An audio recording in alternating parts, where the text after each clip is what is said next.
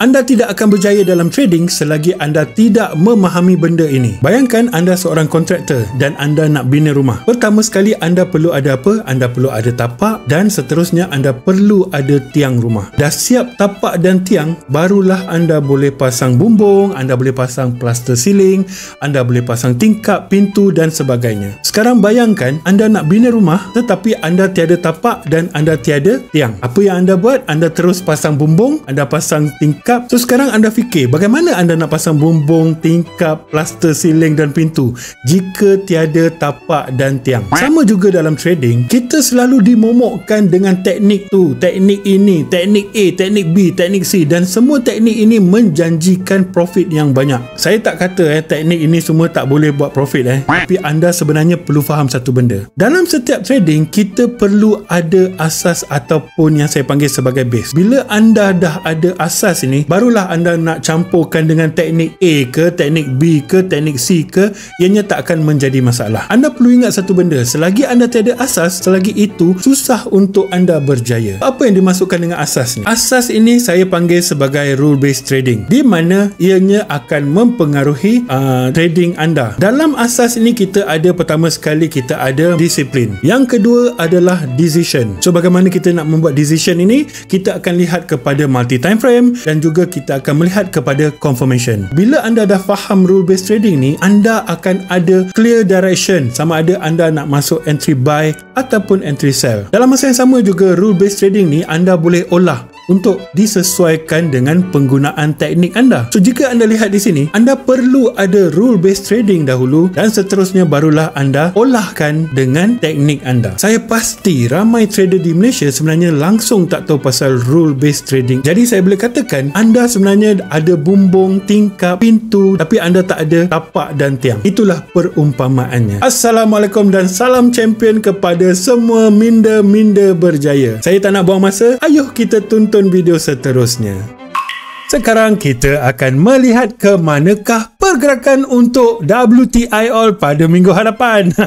okey, okey, okey.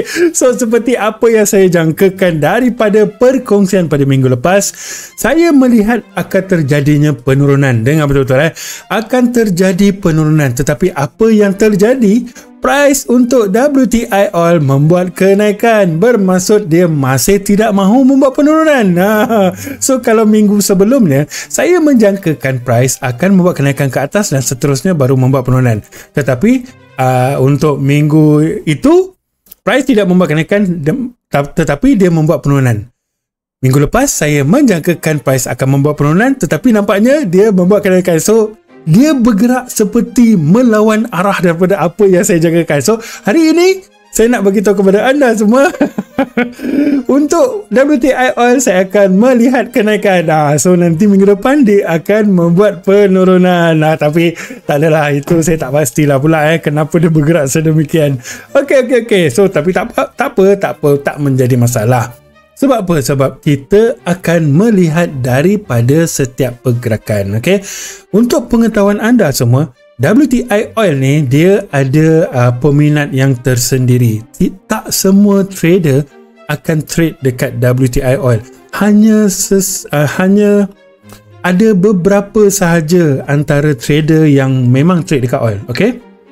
Ianya adalah uh, sesuatu uh, apa sesuatu instrumen yang uh, okey kalau nak di trade lah bagi saya lah tapi saya pun sendiri tak gemar ah begitulah maksud saya saya saya sendiri pun tak gemar tetapi saya suka melihat kepada pergerakan sebab apa sebab daripada pergerakan itu sendiri nanti baru saya tahu bagaimana kriteria sesuatu instrumen itu. Ha, faham eh? Okey, so sekarang kita akan melihat uh, ke manakah arah untuk WTI oil bermula daripada perkongsian multi time frame. Okey, so sekarang saya akan buang dulu semua benda ni so, sebab kita tak boleh pakai lagi. Kita akan lihat pula daripada sudut yang berbeza lagi sekali lah eh.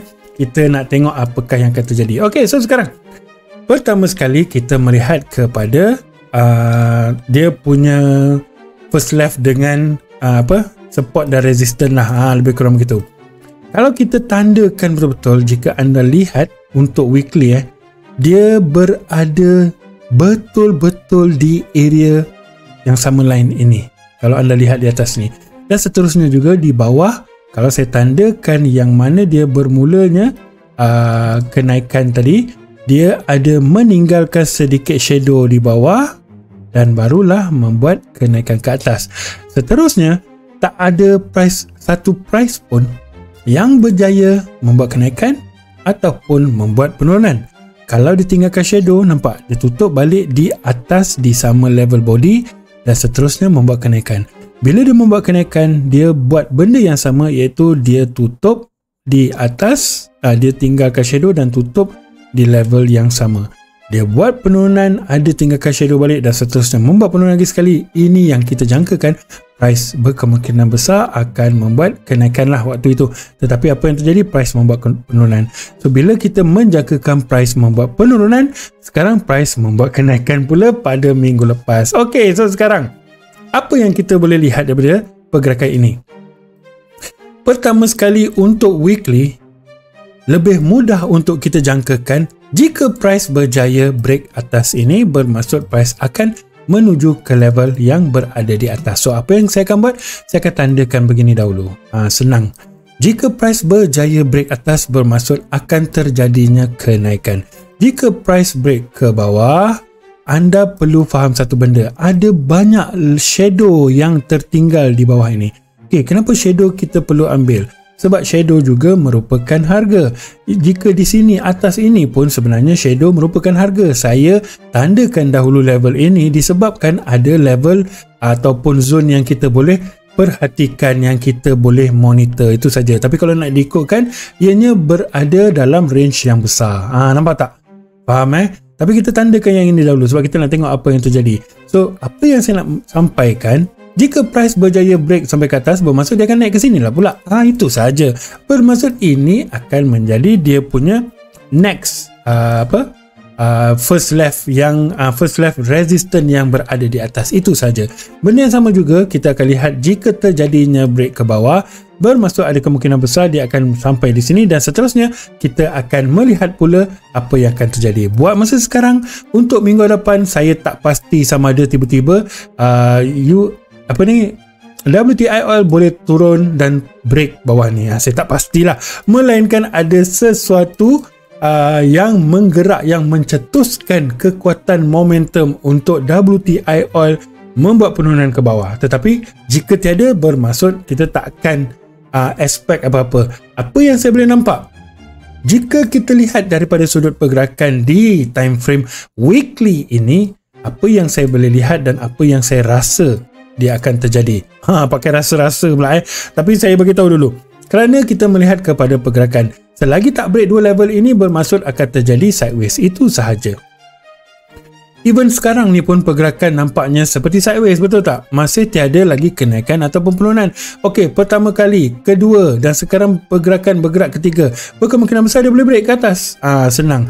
Nak bawah ini bermaksud price perlu membuat penurunan pula ke bawah. So mungkin bawah ni pula satu kali dua kali tiga kali baru dia break. Ha, begitulah. So untuk time frame weekly saya tidak melihat akan terjadi kenaikan atau penurunan melainkan kita melihat pula daripada sudut yang berbeza. Ok so sekarang kita akan tukar kepada 4 hours.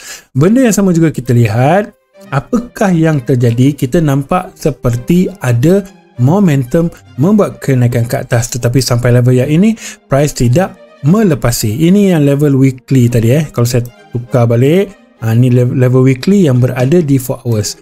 Ok so sekarang apa yang kita nampak? Berkemungkinan besar kalau kita nak ambil daripada sudut uh, breakout di sini kita ada break betul tak? Cuma tak fresh sebab sudah dilanggar dan seterusnya membuat kenaikan. So uh, jika ada penurunan pun mungkin dia boleh sampai ke level yang ini untuk membuat penurunan sebelum menyambung kenaikan. Ah ini kita panggil sebagai possibility saja sebab kita menggunakan mencampur adukkan storyline dalam kita punya sudut pengiraan untuk multi time frame. So apa saya boleh katakan berkemungkinan besar kita akan melihat penurunan dan seterusnya akan membuat kenaikan di mana price akan break level ini. Tetapi jika tidak berjaya bermaksud ada kemungkinan price sebenarnya masih akan membuat penurunan lagi di mana ianya bergerak sekadar retracement dan akan membuat penurunan pula ke bawah. Ha, so dia akan bermain di dua level ini. Nampak tak? Level yang berwarna line hitam tadi ni. Ini adalah yang paling tertinggi dan ini adalah dia punya area support. So bila dia bergerak dalam pergerakan sedemikian, kita menjangkakan berkemungkinan besar akan ada sideways. Ha, itu saja. So kalau kita lihat pula daripada uh, monthly benda yang sama kita akan nampak cuma ada sedikit perbezaan. Sebab apa? sebab kita perlu mengambil kira dia punya level ni atas lagi. Uh, faham tak? so saya akan ambil yang di atas pula.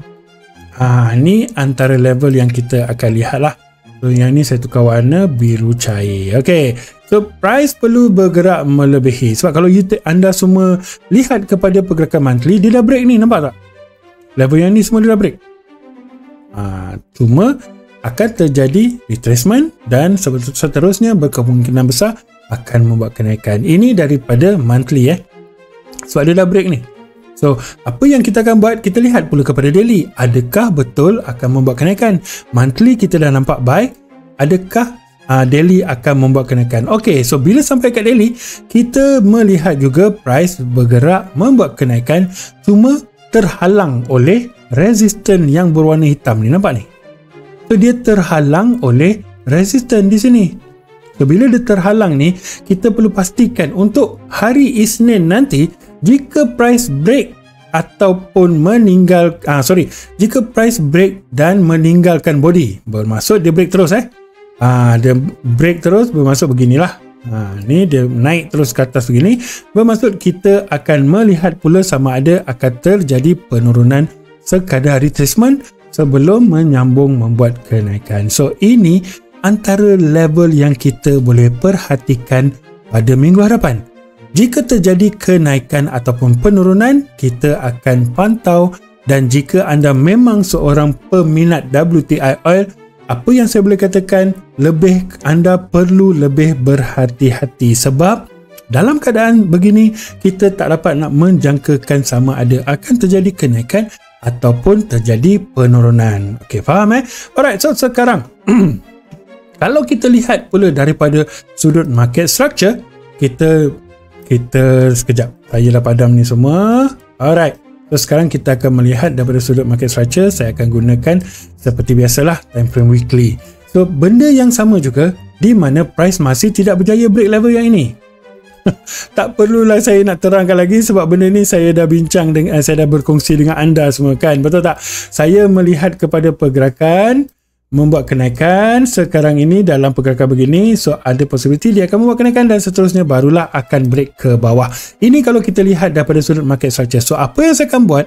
Benda yang sama juga kita akan tarik trendline daripada atas ini sampailah ke bawah. Kita nak pastikan jika price hendak membuat kenaikan, dia perlu break level yang ini. Ha, so, untuk anda yang memang peminat WTI oil, apa yang saya boleh katakan, ianya lebih kepada waiting game. Selagi tak break trendline, selagi itulah price akan bermain dalam uh, range dia.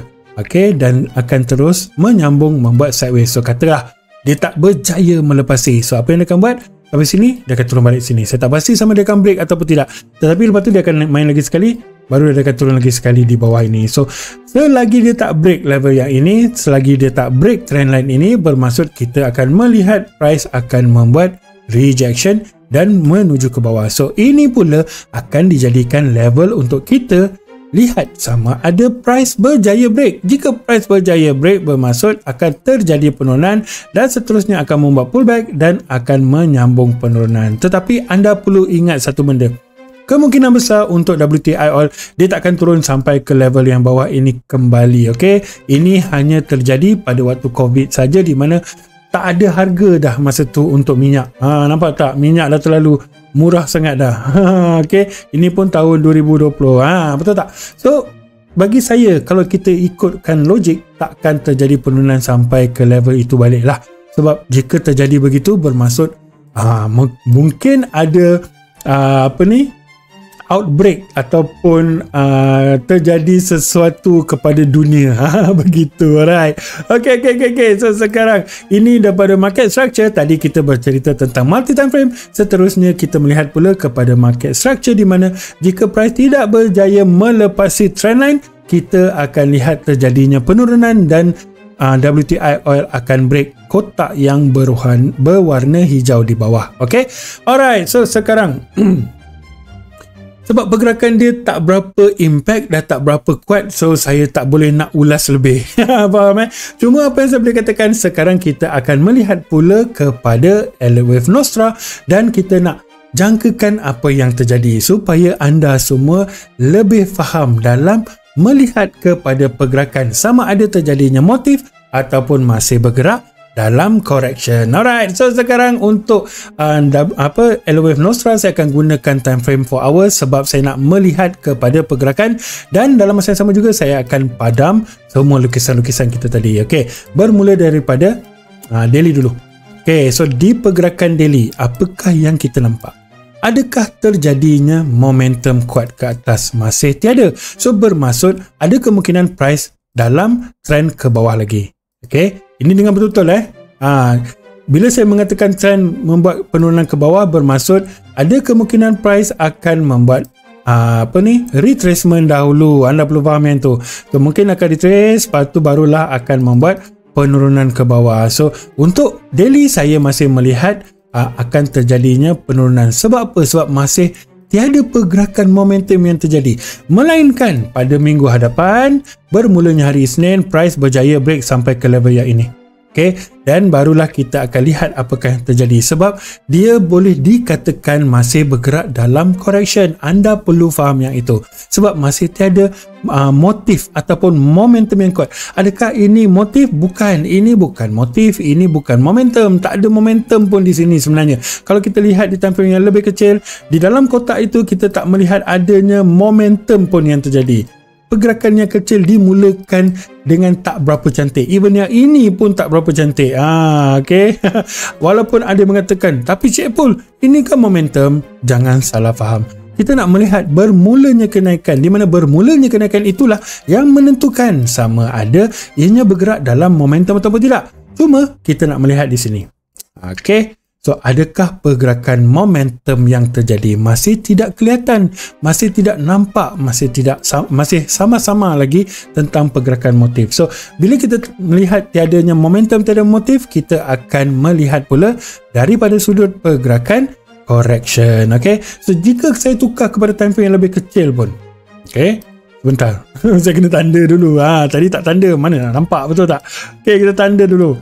So, kalau kita lihat di time frame 5 minit pun, 5 minit. Dang dang dang. dang. Okey, so sekarang pergerakan ada tak nampak seperti motif? Anda sendiri pun boleh nilai, okey? Adakah pergerakan motif yang terjadi selagi kita tidak melihat kepada pergerakan motif selagi itu kita tidak nampak akan terjadinya kekuatan membuat kenaikan ke atas. Ha, begitu. Nampak tak? Tak berapa cantik. Turun, naik, turun, naik, turun. Naik, naik, naik, naik turun, naik, naik, naik, naik, turun balik ke sini. Naik balik. Ha, so, pening kepala. So, bila pergerakan, dia lebih mudah untuk anda faham uh, Elevate Nostra ni jika pergerakan itu membuatkan anda pening kepala bermaksud dia tak ada nak membuat motif ataupun momentum. Mudah begitu okey. So bila kita bercerita tentang pergerakan correction apa yang saya boleh katakan? Menggunakan pergerakan Elo Wave Nostra ini akan menjadi the whole structure ini membuat correction okey. Cuma masih belum kelihatan habis lagi. Sebab apa? Sebab anda perlu faham satu benda in order untuk dia bergerak dalam pergerakan uh, correction dia masih perlu bergerak begini okey? Uh, dan sekarang ini dah membuat penghabisan.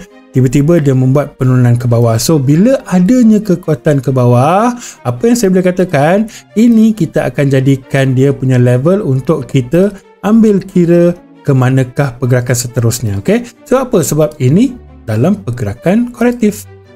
Uh, senang Okey, so sekarang kita dah jumpa yang ini. Apa yang saya akan buat? Benda yang pertama sekali saya akan gunakan Fibo extension, tarik daripada bermulanya kenaikan dan habiskan di sini kita akan tandakan level 1. dan level 1 ini pula berada se- sekali dalam kotak yang kita dah tandakan awal tadi so apa yang saya boleh katakan jika ada kenaikan seperti yang kita jangkakan melihat daripada pergerakan market structure dia akan membuat kenaikan sampai ke level 1 ini dulu so ini akan dijadikan area kita sebagai target lebih mudah begitu okey Okey, sebentar ya tuan-tuan. Ah, saya buat dulu target dahulu. Okey. Ah, saya kita akan melihat target berada di atas. Bermaksud jika terjadinya kenaikan, ini adalah level yang saya akan pastikan dia membuat kenaikan. Dalam masa yang sama juga, di antara pergerakan ini, kita juga perlu melihat sama ada akan terjadi kenaikan atau tidak. So, apa yang saya akan buat? Kita akan lihat daripada sudut pergerakan yang berada di sebelah kiri dahulu, iaitu di sini. Okay. So ini antara level dia yang dia perlu pergi dahulu. So untuk saya lihat apakah yang akan terjadi, saya pada ini dulu ya tuan-tuan. Okay, untuk apa yang saya nampak, berkemungkinan besar akan terjadi kenaikan dan barulah akan membuat penurunan masuk balik ke dalam area kotak ini dan baru pergi ke area target kita. Okay, sebab dia perlu break dahulu. Biar ada break level yang ini dahulu dan seterusnya dia akan membuat pullback ataupun membuat retracement dan seterusnya barulah menuju ke arah target kita. Okey, so sekarang target kita dah jumpa. Apa yang saya akan buat? Saya akan tukar kepada daily tadi. Okey, kepada daily. Uh, weekly ke daily tadi saya lupa. Ah, okey, ni ha. Okey, kepada weekly sekarang saya akan gunakan trend line. Saya akan tarik sampai ke bawah. Okey, so sekarang apa yang kita nampak? price tidak berjaya ataupun tak mungkinlah sampai apa nampak seperti tidak akan membuat kenaikan sampai ke atas ini tetapi cukup untuk kita menjangkakan trend untuk WTI oil pada minggu depan apa yang saya dapat lihat adalah berlakunya kenaikan sedikit pullback dan seterusnya menuju ke arah target. So kalau kita lihat daripada sudut pergerakan uh, di mana kita tandakan tadi ianya akan berada dalam keadaan sideways lagi sekali. Ya begitu. Sebab anda perlu faham eh dekat monthly kita dah nampak adanya kenaikan di mana dia dah break um, body daripada sebab kalau saya tukar kepada line chart kita akan nampak begini. Nampak? Daripada dulu nampak tak dia dah break sini ha, ni kalau kita bercerita daripada sudut apa ni uh, storyline kan dia dah break so bila dia dah break dia akan naik sampai ke level yang saya dah tandakan tadi dan barulah akan membuat penurunan. So, apa yang saya nak beritahu tadi berkemungkinan besar akan terjadinya breakout di level yang ini dan seterusnya price akan membuat pullback dahulu. Ha, begitulah ceritanya. Akan membuat pullback mungkin sampai ke level breakout tadi ni dan barulah akan menuju ke target kita. Nampak tu?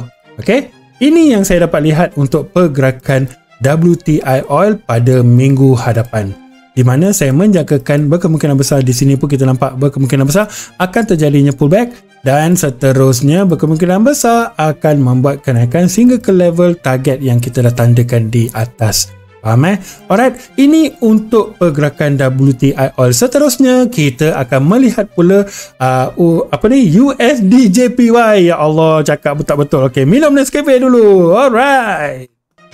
Dari perkongsian saya pada minggu lepas, uh, untuk USD JPY saya menjangkakan price akan membuat kenaikan daripada bermulanya di sini dan seterusnya akan membuat penurunan disebabkan price berada ataupun akan reject di level bermulanya penurunan. Tetapi apa yang terjadi? Kita dapat melihat USD JPY terus membuat kenaikan dan dalam keadaan yang sama juga kita melihat akan terjadi kenaikan lagi sekali pada minggu hadapan. Okey, so uh, untuk itu saya akan tukar dahulu saya punya apa ni?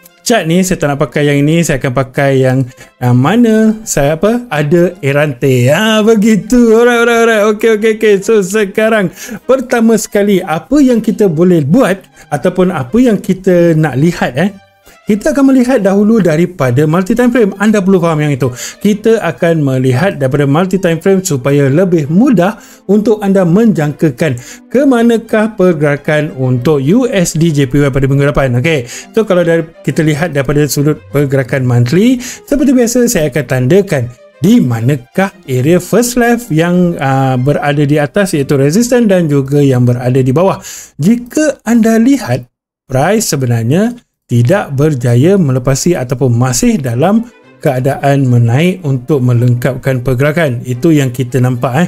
Tetapi apa yang kita perlu tahu daripada the whole structure ini adakah akan berlaku penurunan ataupun akan berlaku kenaikan. So, mari kita uh, analisa sedikit daripada uh, candle-candle yang berada di belakang. Ha, okay.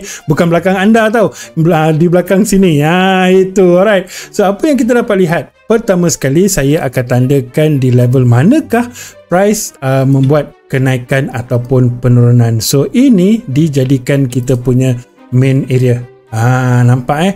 So bila price membuat kenaikan, dia membuat kenaikan di sini dan seterusnya membuat penurunan dan menyambung kenaikan.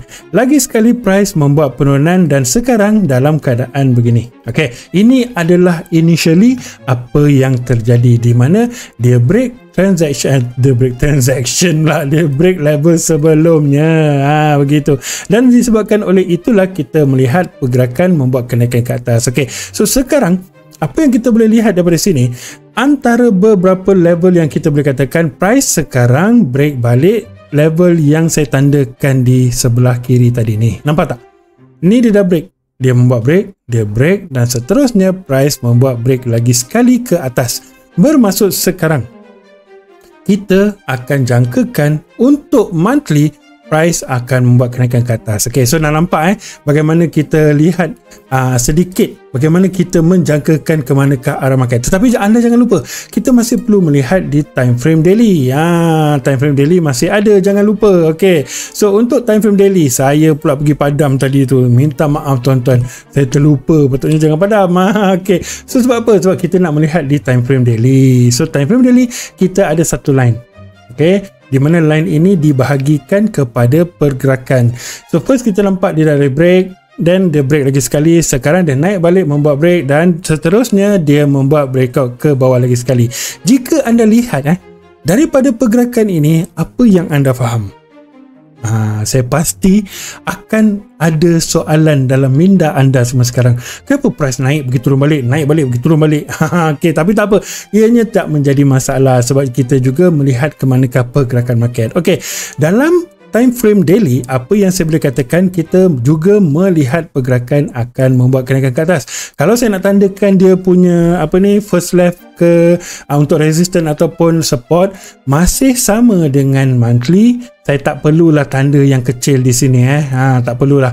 Saya, kita tak lihat begitu. Sebab apa? Sebab kita nak um, turun sampai ke level yang kecil iaitu 1 hour. Okay, so dalam masa ini apa yang saya boleh katakan untuk daily juga kita melihat pergerakan akan membuat kenaikan ke atas. Ha, benda yang sama akan terjadi. Okay.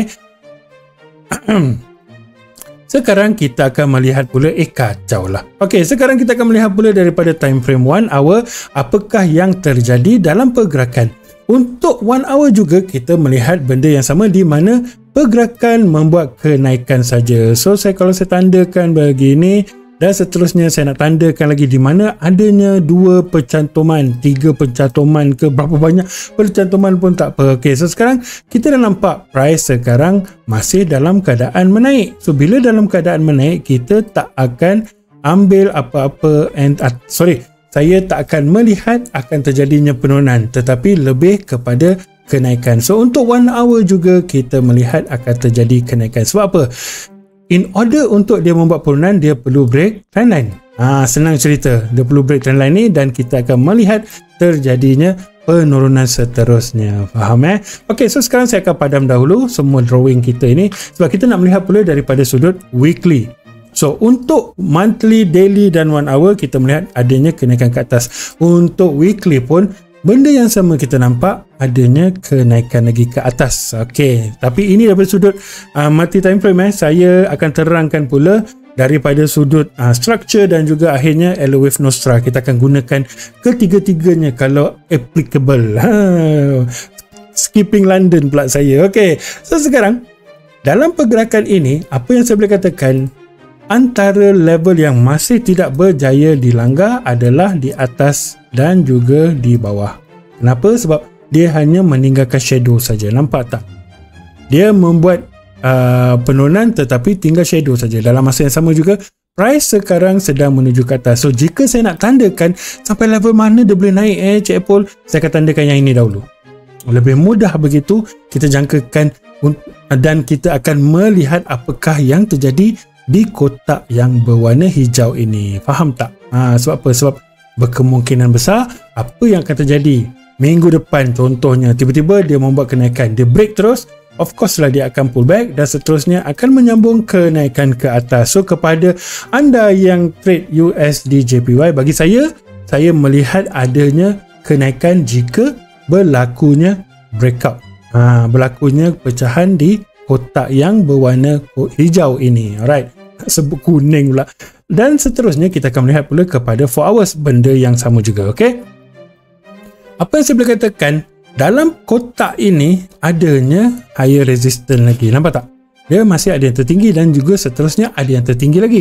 So apa yang kita akan lihat? Jika price berjaya break kotak yang berwarna uh, hijau ini ini akan dijadikan kita punya next destination faham eh saya tak nak tanda dengan kotak lah nanti banyak sangat kotak anda semua pun dah pening pula nanti. Ha, okay. So kita akan tandakan antara dua level yang price boleh pergi. Okay. So antara dua level ini, jika price berjaya break, kita akan lihat pula di antara dua ini sama ada terjadinya rejection. Rejection pula rejection ataupun tidak. Jika ada rejection Alhamdulillah kita akan jangkakan pula sampai mananya penurunan. Tetapi jika tiada bermaksud kita akan melihat price terus membuat kenaikan ke atas. So kalau saya nak turun daripada 4 hours kita akan pergi kepada 15 minit. Tetapi terlalu kecil saya tak nak buang masa. Saya nak terangkan kepada anda ke manakah pergerakan untuk USD JPY so untuk week, uh, monthly, weekly, daily dan 4 hours juga 1 hour kita melihat akan ada kenaikan. So, untuk waktu ini kita akan lihat trend membuat kenaikan dahulu. Okay. So sekarang kita akan lihat pula daripada sudut market structure di mana saya akan padam balik semua lukisan-lukisan tadi. Okay, saya harap anda semua kalau nak lukis balik anda boleh rewind balik tapi bagi saya multi time frame tak perlu lukis dahulu. Kita hanya nak melihat ke manakah arah market. Ah itu yang paling penting, betul tak?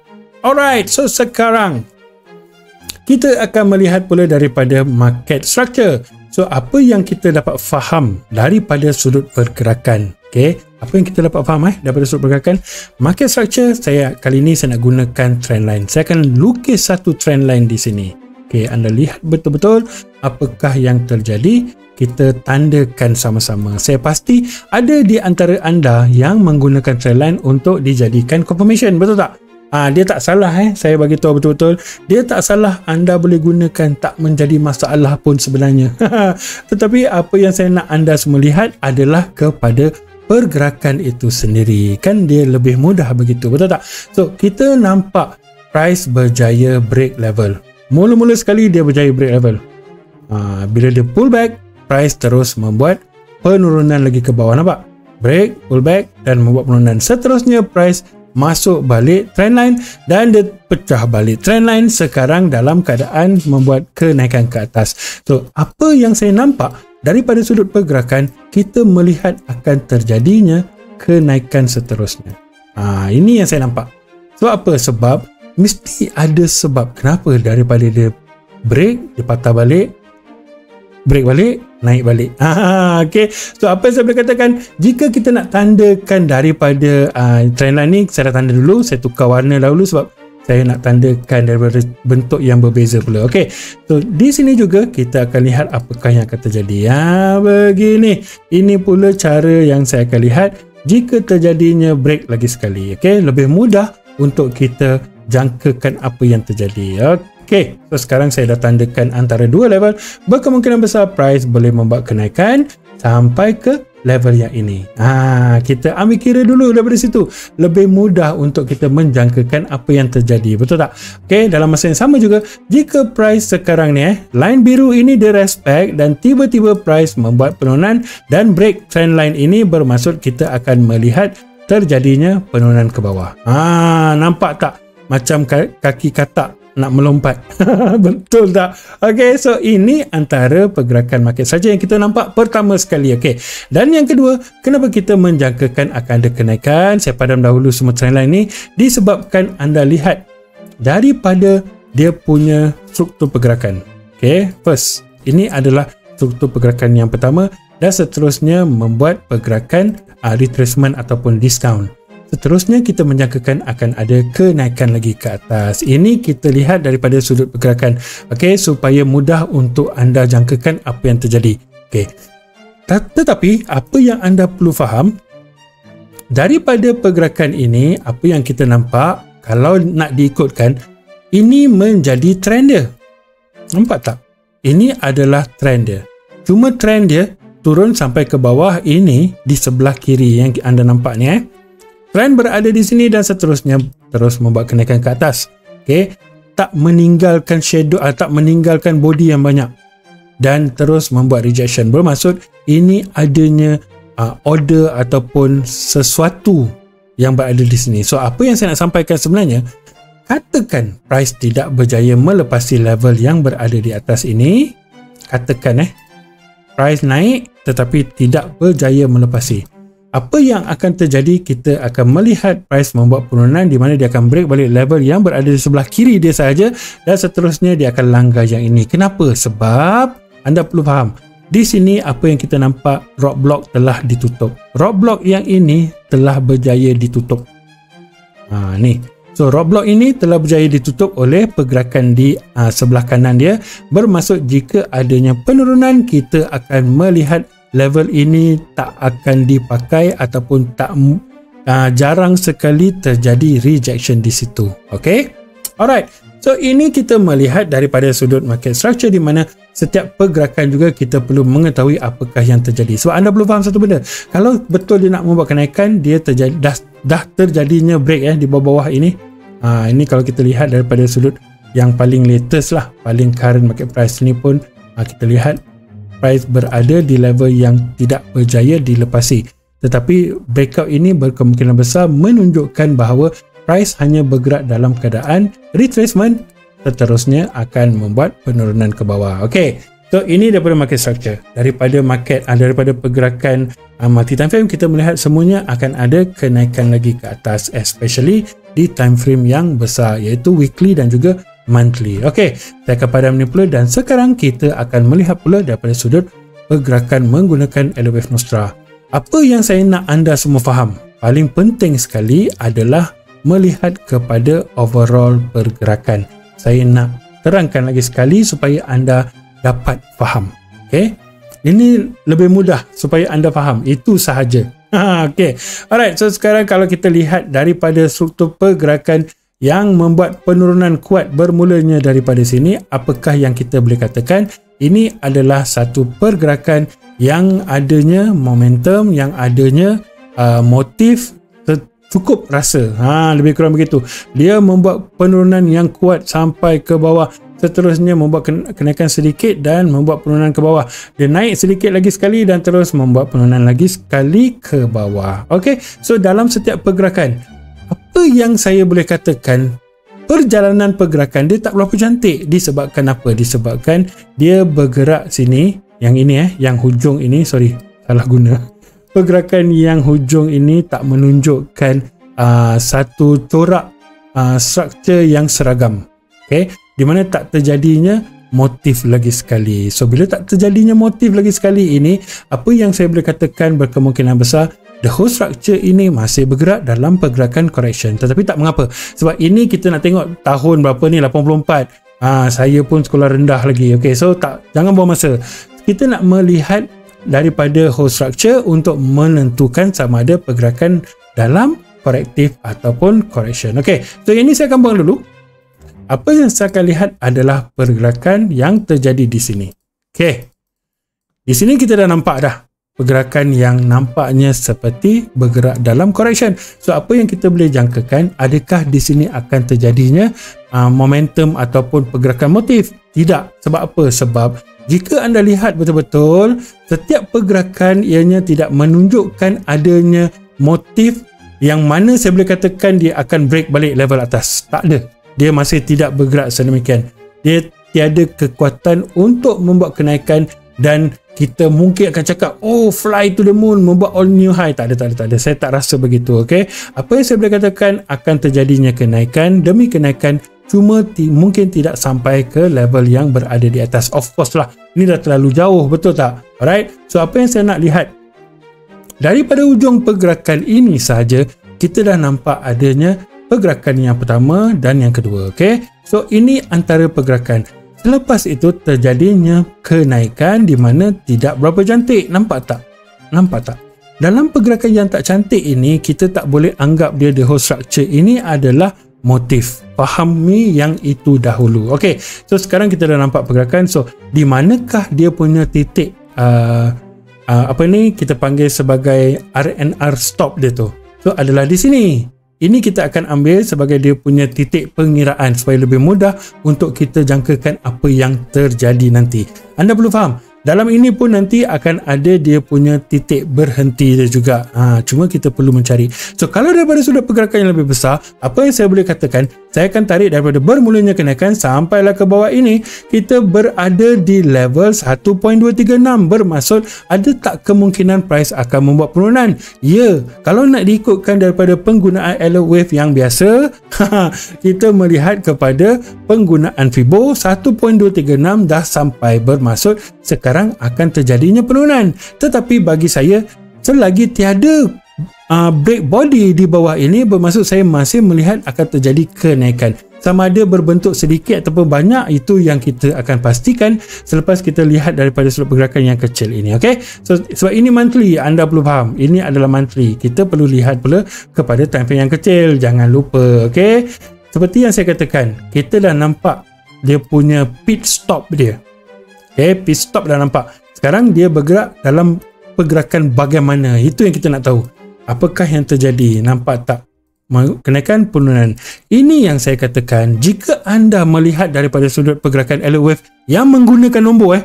Minta maaf lagi sekali saya bagi tahu saya masih menggunakan nombor tapi bila kita nak buat mapping, kita nak buat kira-kira, kita nak mengajar orang, saya takkan gunakan nombor. Bagaimana saya nak ambil kira begini? Adakah saya akan ambil kira pergerakan yang terjadi Ah, begini. Ha, saya akan tandakan begini, Cik Pul. Ha. Siapa kata tak ada? Nampak ni. Satu, dua, tiga, empat. Ah, anda akan jamnya. Betul tak?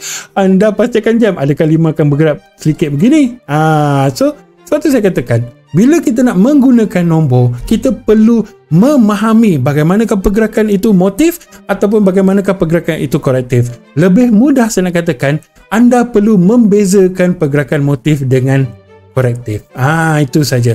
So ini kita masih nampak dalam pergerakan korektif. Bermaksud pit stop yang terjadi adalah pergerakan mungkin eh ah, pergerakan untuk wave kedua dan seterusnya sekarang price akan membuat pergerakan untuk uh, wave yang ketiga, pergerakan yang ketiga lebih kurang begitulah. Sebab ABC kan ada tiga. Ha, lebih kurang begitu. Ok so bila terjadinya kenaikan dan penurunan di sini kita melihat adanya kenaikan seterusnya membuat penurunan lagi sekali. So di sini anda perlu faham satu benda.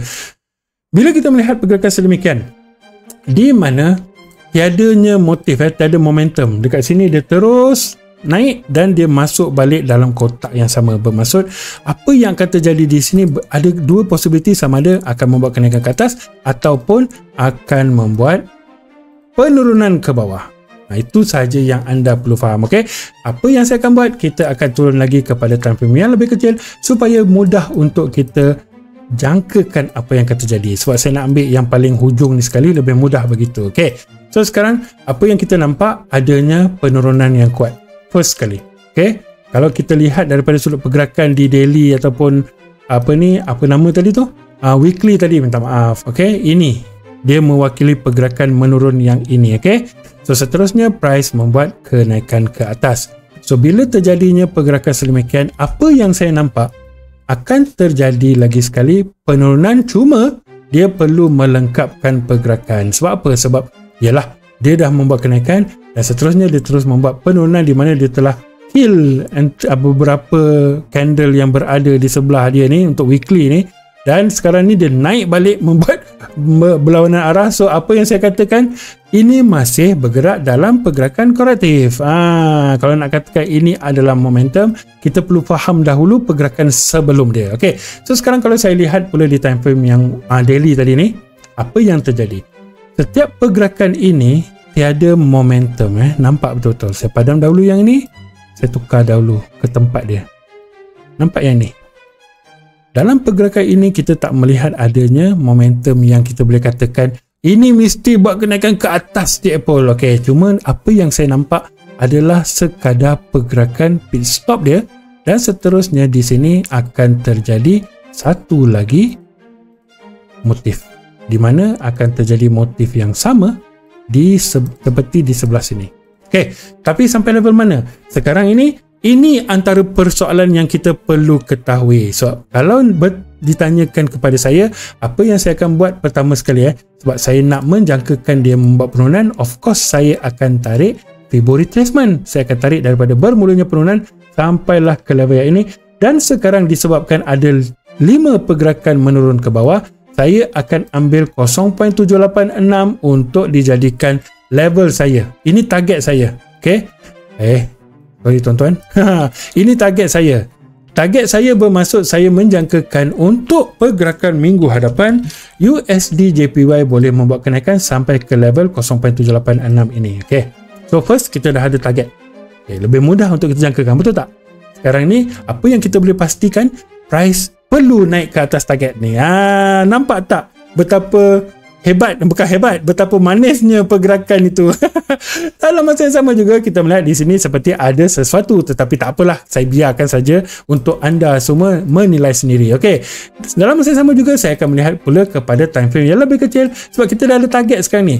Bila kita dah ada target ianya lebih seronok untuk kita lihat apa yang terjadi. So dalam pergerakan apa yang saya akan nampak apa yang saya nampak adalah satu pit stop Ha, kenapa saya tak ambil sini? Kita perlu ambil di tengah-tengah. Anda perlu faham sebab pit stop ini berada di tengah. Ada daripada rumah, ada daripada rumah di sini. Nak pergi balik kampung, takkan dekat sini. Ni KL tiba-tiba dekat uh, ni katalah ni ceras, tiba-tiba dekat Maluri berhenti nak makan. Ha, apa baik anda jalan sikit sampai Sungai Buloh ke apa ke nak pergi ke Perak kan. Ha, berhentilah kat sini. Ha, begitu. Okay. Alright. So sekarang ini adalah pertengahan dia saya akan ambil kira Fibo extension daripada bermulanya kenaikan saya akan habiskan di eh salah pula tuan-tuan minta maaf ok so apa yang saya akan buat pertama sekali saya eh sorry bukan di sini. Inilah eh hey, Cik Paul ini kan membuat kenaikan.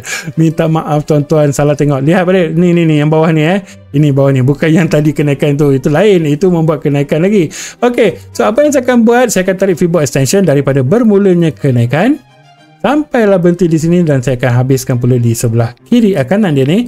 Saya akan melihat area satu untuk dijadikan level di mana price boleh membuat kenaikan. So saya akan tandakan dulu antara dua level. Ha, lebih mudah begitu. So ini boleh dijadikan target dan juga 1.236 boleh dijadikan sebagai target kita. Okay. So kita dah nampak target dia. Dalam masa yang sama juga bila kita menggunakan multi time frame, kita juga melihat akan adanya kenaikan. So, ianya mengkonfirmkan lagi kita punya analisa kita. Alright. So, apa yang saya boleh katakan? Kita melihat akan adanya kenaikan selepas price sampai di antara tiga level ini. Bagi saya, saya nak dia sampai target ni. Sebab apa? Sebab ianya lebih cantik. Ha, kalau katakan saya nak jangkakan sampai 0.618, dia tak berada di level yang sepatutnya. Nampak tak? Ha, tapi 0.78 eh 0.618 berada di bawah di mana sekarang ini terjadi. Saya lebih uh, suka untuk melihat price naik sampai ke area target ni disebabkan dia boleh dijadikan pergerakan yang pertama, pergerakan yang kedua dan seterusnya pergerakan yang ketiga. So, apa yang saya boleh katakan, jika price berjaya naik sampai ke target kita ini, seterusnya membuat rejection, kita akan menunggu price membuat breakout di bawah. Uyuh, Begitu sekali eh. Sebab apa? Sebab anda perlu faham pergerakan USD JPY tak berapa momentum sangat, tak berapa kuat. Ada tetapi tak berapa kuat sangat. So, ada kemungkinan price boleh membuat kenaikan dahulu sampai ke level target kita dan barulah akan bergerak membuat penurunan lagi ke bawah. Ha gitu. Okay. So ini sahaja perkongsian saya apa yang saya dapat lihat untuk uh, USD JPY pada minggu depan kita akan melihat terjadinya kenaikan sedikit dan sampai ke area target ataupun salah satu di antara line yang saya tandakan kita nak lihat sama ada terjadinya confirmation ataupun rejection dan barulah kita akan mencari peluang untuk entry sell jika tidak ataupun tiada anda perlu faham ini of course lah menjadi pergerakan yang terakhir betul tak Ha, kalau dia break yang sampai sini bermaksud akan terjadi kenaikan lagi lah itu saja tapi kita perlu lihat adanya momentum ataupun tidak di uh, pada minggu depan. Ha itu saja. Okey. Alright, ini untuk USD JPY. Seterusnya kita akan melihat pula kepada ke manakah arah untuk US30. Ayo guys. Sebelum saya berkongsi ke manakah pergerakan untuk US30, uh, izinkan saya untuk membuat sedikit pengumuman. Okey. Jika anda dapat lihat di skrin saya ini, anda nampak adanya His Currency Meter. Betul tak? apakah kegunaan Haze Currency Meter saya pasti ramai di antara anda yang dah tahu dah kegunaan dia di mana kita akan melihat data bank uh, melihat data bank pula kita akan melihat kekuatan untuk uh, XAU, XAU USD ataupun US30 ataupun US Oil ataupun USD JPY ke kita akan lihat di currency meter ini. Di mana ianya mewakili sesuatu currency itu. Bagaimana uh, apa ni Haze currency ini bergerak ianya melalui daripada data bank yang apa ni tim SQD uh, dapatkanlah. Uh, lebih kurang begitu. Okey. sekarang kita masih belum menggunakan Elewave Nostra dengan Haze uh, ini saya nak bagi tahu satu benda. Jika anda nak tahu news CPI pada minggu lepas okay, di mana hari Rabu saya buat live saya sebenarnya menggunakan pergerakan Elewave Nostra bersama dengan Haze Currency Meter. Disebabkan oleh itu saya menjangkakan akan ada kenaikan. Daripada pergerakan Haze daripada pergerakan uh, LOF Nostra dan saya gunakan juga uh, Haze Currency Meter saya mengambil peluang untuk buy pada hari Rabu itu uh, minta maaf sebab saya ada bagi tahu eh kita boleh lihat uh, kita boleh ambil peluang untuk buy tetapi berhati-hati itu saja ah saya nak minta maaf jika saya tak bagi saya tak ada saya tak kata jangan buy saya cuma mengatakan kita ada dua option sama ada kita nak masuk buy ataupun tidak. Ah, tapi nanti tu saya ceritalah di tepat dekat um, waktu US, eh, apa waktu goal nanti. Tapi apa yang saya nak bagi tahu? Nantikan ah, nantikan penggunaan His currency meter bersama dengan Elowave Nostra. Okay, alright, jom kita teruskan uh, kita punya perkongsian untuk US30. Okay, seperti yang anda dapat lihat, dan jika anda nak menonton balik video uh, perkongsian saya pada minggu lepas, kita menjangkakan akan ada penurunan. Apa yang saya beritahu hari itu, dalam video perkongsian, kita hanya menunggu peluang untuk sell saja sebab apa yang kita nampak price sekarang dalam pergerakan final explosion di mana akan terjadinya distribution seterusnya akan membuat panik. Okey, so apa yang terjadi? saya tandakan area to monitor disebabkan apa?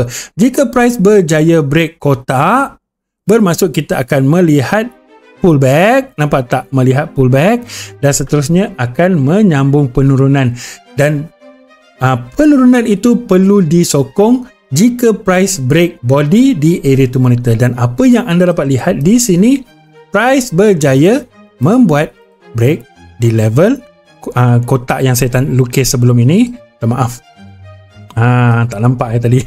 Okey, so price berjaya break kotak. Nampak tak? Dia break kotak, membuat penurunan dan seterusnya membuat pullback. Nampak tak? Dia touch balik di level kotak yang sama dan seterusnya dia break.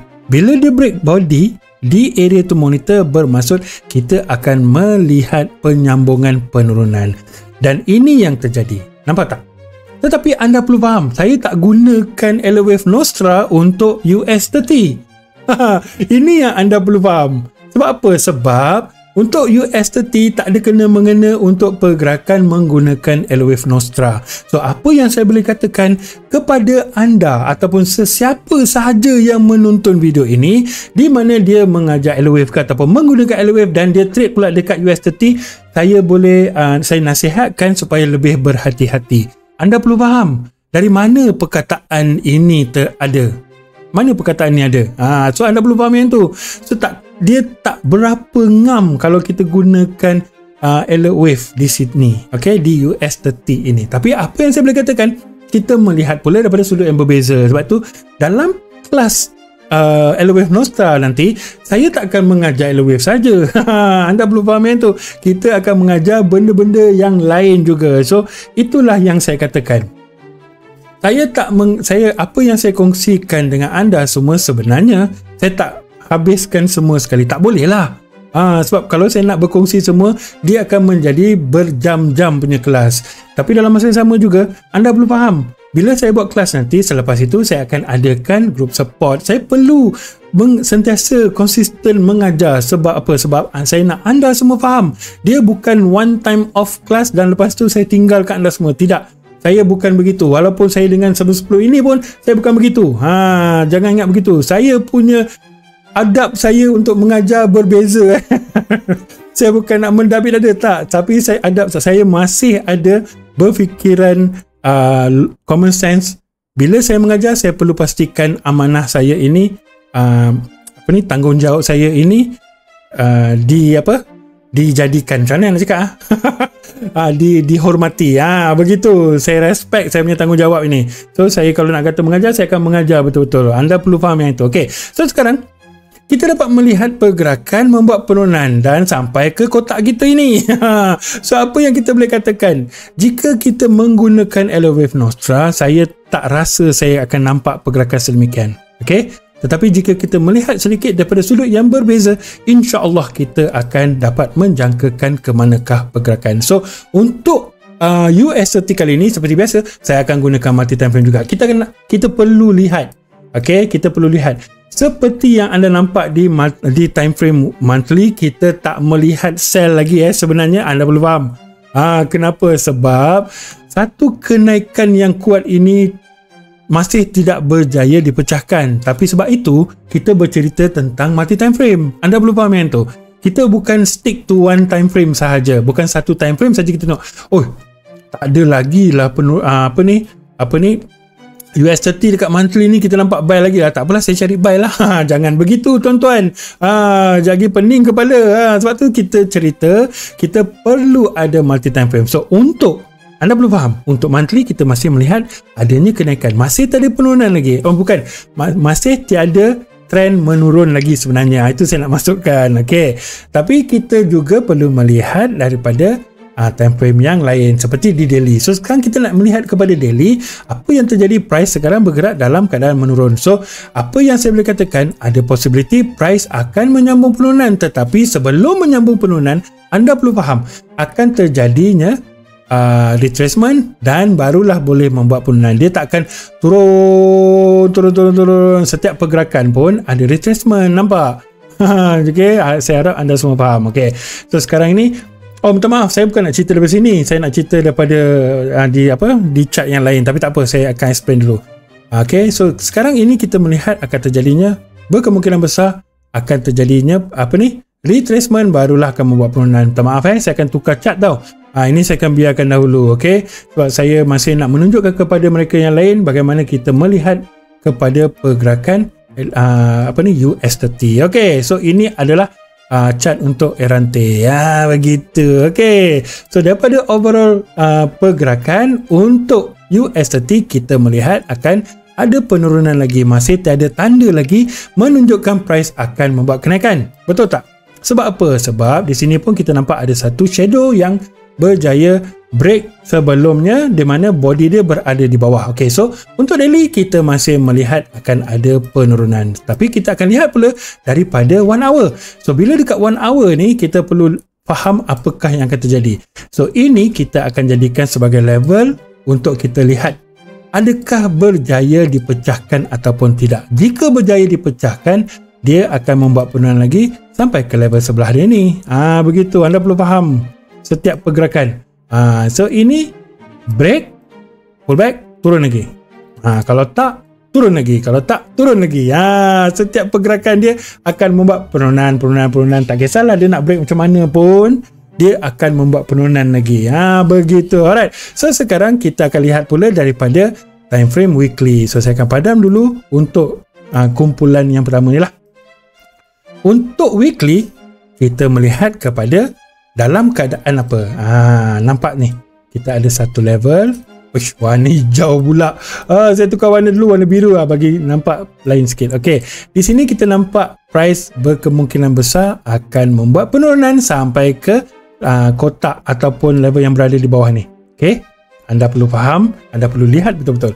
Ok dia sekarang untuk USDT berada dalam kotak dia So sekarang apa yang saya akan lihat berkemungkinan besar price akan menyambung penurunan sampai ke uh, bermulanya kenaikan ini. So kita nak lihat dahulu yang ini. Apakah yang terjadi? Ha, tetapi jangan lupa kita masih ada time frame yang lain untuk kita uh, apa ni confirmkan adakah akan terjadi penurunan sampai ke level yang ini ataupun tidak. Alright. Sekarang kita akan tukar pula kepada 4 hours. Dan seterusnya kita akan, eh gambar jadi begini pula. Seterusnya kita akan lihat apakah yang akan terjadi. Okey, ada tak pergerakan yang membuat kenaikan? Masih tiada. Kita hanya melihat terjadinya hatta yang sebelah ini pun, nampak tak? Di sebelah ini pun price telah membuat penurunan dan sekarang ini masih dalam keadaan menurun lagi. Nampak tak? Dia break, dia turun, dia ambil balik, dia punya position di atas, dia pull back dan sekarang dalam keadaan menurun. So, untuk 4 hours juga kita masih melihat kepada pergerakan membuat penurunan. So sampai level mana dia boleh turun? So kita akan ambil ini dahulu sebagai level dia. Ha, dia lebih kurang macam storyline tuan-tuan dan puan-puan. Dia lebih kurang macam storyline. Anda perlu faham yang itu. Ha, storyline kita melihat kepada uh, dia punya first left support yang berada berdekatan. So ini adalah level yang dia perlu tuju. Ha, sekarang ni apa yang kita perlu pastikan price per, untuk USDT perlu break level yang ini. Bila dia break level yang ini, Alhamdulillah kita akan melihat lagi penurunan akan terjadi. Ha, begitu. Alright. Okay, so saya tak perlulah turun sampai 15 minit. Nanti panjang pula cerita. Ini adalah daripada sudut pergerakan melihat kepada multi time frame. Seterusnya kita akan gunakan uh, market structure. Uh, market structure kali ini kita saya macam saya bagi tahu tadi, saya tak melihat kepada pergerakan menggunakan Elevate Nostra. Harap anda semua faham, okey? Okey. So macam yang seperti yang saya pernah kongsikan, pergerakan membuat kenaikan bermulanya daripada bawah ini. Di mana ini adalah dia punya base dia ataupun dia punya pit stop dia. Ha, so kalau anda racing kereta kan, Ya, apa F1 dia ada pit stop betul tak? Ha, ataupun Nasdaq ke Nasdaq pula. NASCAR ya Allah wakbar Nasdaq. Okay, kalau NASCAR ini adalah uh, zone pit stop dia. Dia akan berhenti tukar tayar atau minyak benda semua terus jalan. Ok so sekarang daripada sudut pergerakan first kali apa yang anda perlu faham ini membuat kenaikan. Ok nampak tak? Kenaikan. Seterusnya dia membuat pergerakan uh, di mana agak cacah merbah dan sekarang dia membuat kenaikan lagi sekali. Okey nampak ni ha, saya tunjuk dulu. Lebih mudah. Lepas tu dia membuat pergerakan macam cacah merbah kita ambil dahulu. Kita ambil dahulu. Dalam erti kata lain lebih mudah. Saya tak payah lukis yang inilah. Lebih mudah saya nak cari yang kotak ni saja. So ini terjadinya kotak lagi sekali. Nampak eh? Okey. Apa yang saya nak katakan kepada anda semua daripada sudut pergerakan menggunakan market structure in order untuk price menyambung penurunan dia perlu break sampai level mana? Anda perlu faham yang itu ok so apa yang saya katakan ini terjadinya kenaikan membuat pullback ok so ini sama level dia. Tetapi apa yang terjadi price membuat kenaikan lagi sekali dan membuat pullback. Nampak? Ok so anda nampak eh semua? Anda nampak ada pullback di situ So ini akan dijadikan satu level dahulu. Okay, satu level yang pertama. Dan seterusnya price membuat break lagi sekali ke atas dan membuat pullback. So ini akan dijadikan level kedua di mana ianya berada dalam kotak. Senang cerita, okay? So sekarang kita dah ada dua level. Apa yang saya akan buat? Saya akan gunakan Fibo retracement tarik daripada bermulanya kenaikan sampailah ke level yang atas itu. Okay apa yang saya nak perhatikan? Dengar betul-betul. Sekarang pergerakan membuat penurunan di mana ini adalah breakout. Sebenarnya kalau saya nak cerita eh ini terjadinya uh, lagi sekali dia punya apa ni? Dia punya apa tu uh, breakout dia apa pullback dia. Ha pullback. So bila terjadinya pullback apa yang saya akan buat? Saya akan tarik Fibo retracement daripada bermulanya kenaikan di sini. Saya akan tarik sampai sini. So sekarang price berada di 0.618 kalau saya gunakan body saja sudah melebihi 0.618 bila price sudah melebihi 0.618 saya akan menjagakan price akan membuat penurunan sampai ke level yang pertama sekali yang ini. Pertama kedua ketiga. Sorry yang ketiga ini dahulu. Okey bila price berjaya break level yang ketiga ini price akan pergi ke level yang kedua. Dengar betul-betul eh? Dengar betul-betul. Dia akan pergi level yang kedua pula. Okay, benda yang sama juga apa yang saya akan buat saya akan gunakan Fibo retracement tarik daripada bermulanya kenaikan sampai ke atas di mana price perlu break 0.18 untuk menuju ke bawah ini pula. So katakan dia berjaya break. Bila dia berjaya break cakap pada ni dahulu bila dia berjaya break dia akan turun menuju ke level yang pertama tadi ni. Ok so pertama ni kita dah ada. So sekarang kita ada tiga level. Kita perlu pastikan pada minggu depan price uh, untuk USDT akan break ke bawah ini di mana dia akan break level ketiga yang di atas inilah di mana di dalam kotak ini. Dan juga selepas terjadinya break dia akan menuju pula break yang apa level yang kedua dan level yang pertama okey Pertama, kedua, ketiga. Faham eh? Ini saya tukar warna kepada warna uh, oren. Okey. So, hitam, biru dan oren. Sekarang ini, bila dia turun sampai ke level yang kedua, macam saya beritahu tadi, saya akan gunakan Fibo Retracement, tarik sampai ke atas untuk melihat sama ada dia berjaya pecahkan level 0.618 ataupun tidak. Jika tidak berjaya, eh, jika berjaya, then saya akan melihat price membuat penurunan sampai ke level inilah. Okey. Tetapi apa yang paling penting? Nanti selepas berjaya break saya akan tarik pula daripada level yang pertama sampai ke atas. Jika price berjaya break 0.618 bermaksud inilah level yang akan dituju oleh US30 pada minggu hadapan ataupun bila-bila. Sekarang ini apa yang saya nak pastikan? Level ini perlu di break dahulu. Ah begitu. Ini melihat daripada sudut pergerakan market structure. Level pertama saya tulis lah eh level pertama. Eh level ketiga. Level tiga. Ha yang ni saya tukar kepada uh, right. Ok ha tu level tiga ini level kedua. Ha, saya harap anda semua faham. Sebab saya nak anda lihat bagaimana kita juga tak menggunakan 100% Elliott Wave Nostra dalam setiap kita punya analisa. Ha, nampak tak? Lalu saya katakan dalam setiap pergerakan juga kita perlu tahu apakah yang dibuat oleh market. Dalam masa yang sama juga, kita perlu melihat kepada pair ataupun instrumen yang lain sebab kita nak familiarize dengan pergerakan dia. Itu je yang kita nak. So, daripada setiap pergerakan ini, jika level 3 berjaya dipecahkan, price akan membuat penurunan sehingga ke level yang kedua dan jika dia sampai ataupun macam saya beritahu tadi melebihi daripada 0.618 uh, kita gunakan Fibo retracement dia pecah 0.618 ini sahaja bermaksud dia akan menuju ke level 2 Ah itu saja yang saya nak, nak, nak tengok. Kalau dia sampai 018, saya akan melihat kepada trend menurun lagi. Dan seterusnya, bila price berjaya break yang berwarna uh, level yang kedua ini, di mana level yang kedua ini juga sebenarnya 0.618 eh kalau saya tarik tadi daripada bermulanya kenaikan tadi nampak eh dari sini saya tarik dari sini 0.618 berada di level 2 so kalau dia break saya akan melihat penurunan sehingga ke level yang pertama. Ha, faham tak Ha, level pertama ni berada di 40155 ha, tak kisahlah. Kita ambil 40 ribu terus ke lajak sikit ke bawah tak menjadi masalah. Cuma yang paling penting apa yang kita nak tengok adalah trend dia. Kita nak tengok trend saja.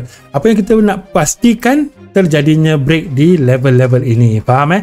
Break level yang ketiga turun sampai ke level kedua. Break level yang kedua akan turun sampai ke level yang pertama. Ok so ini cara kita melihat pula yang berbeza sedikit daripada pair yang lain di mana kita tidak menggunakan Elevate Nostra untuk US30. Okey, seterusnya selepas ini kita akan uh, berkongsi pula untuk DXY. Ayo. Sekarang kita akan melihat ke manakah pergerakan untuk US Dollar Index. Okey, daripada perkongsian saya pada minggu lepas, nampaknya, nampaknya price berada di dalam kotak uh, kalau anda nampak eh kotak uh, yang berwarna merah ini tetapi masih tidak berjaya membuat kenaikan untuk meneruskan kenaikan membuat pergerakan motif. So apa yang kita boleh jangkakan? Saya terpaksa padam nanti sebab kita nak melihat pula apakah yang akan terjadi. Walaupun kita melihat akan adanya kenaikan cuma price tidak berjaya melepasi. Itu je. Ha, mungkin minggu depan baru kita melihat akan terjadinya kenaikan. Tetapi buat masa sekarang saya akan padam dahulu semua lukisan ini sebab kita nak melihat dahulu ke manakah trend menggunakan multi time frame. Alright, okay. So sekarang saya akan buang dahulu. Sekarang apa yang kita nampak?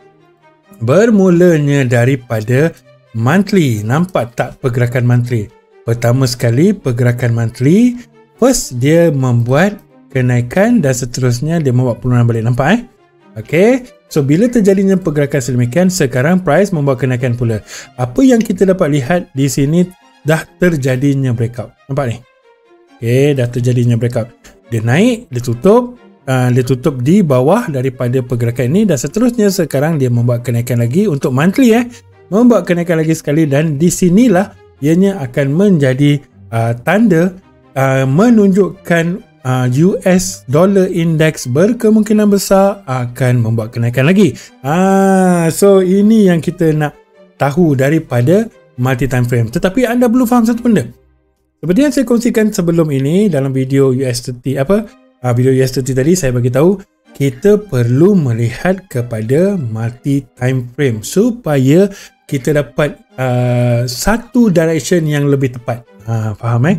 Kita kadang-kadang tengok dekat monthly kita boleh buy tapi kita tengok dekat daily boleh sell. Ha, dan mungkin pula dekat monthly kita nampak buy, dekat weekly pula kita nampak sell. So bahaya. Faham eh?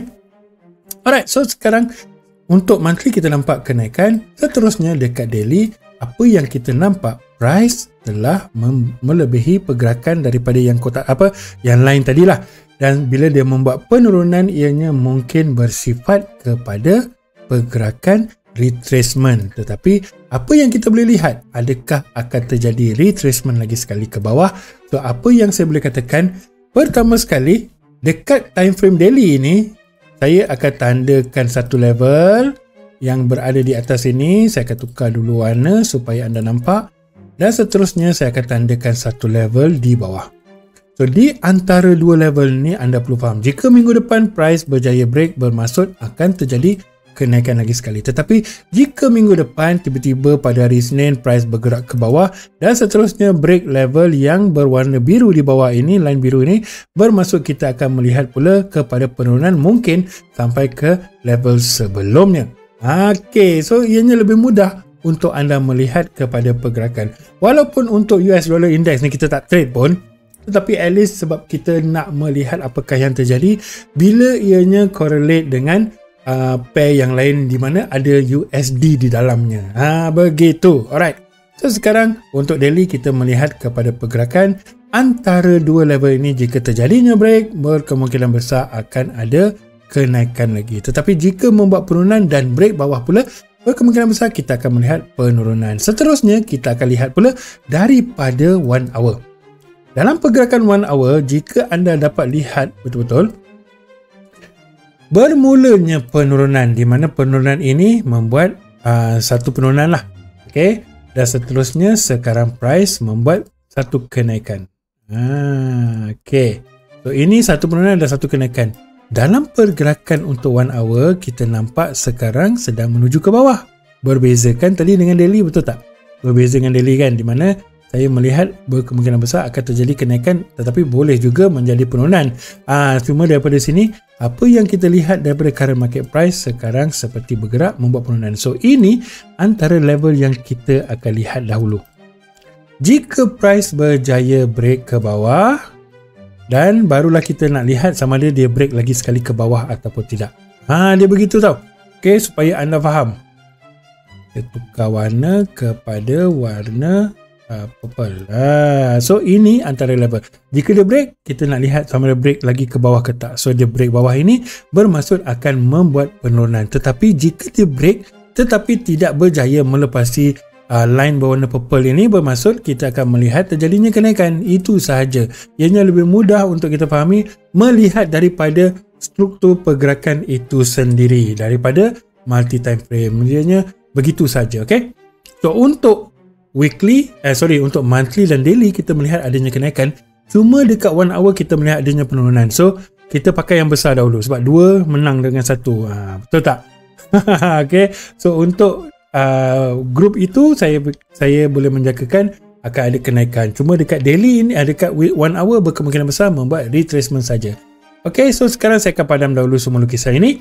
Dan sekarang kita akan lihat pula daripada sudut weekly pula.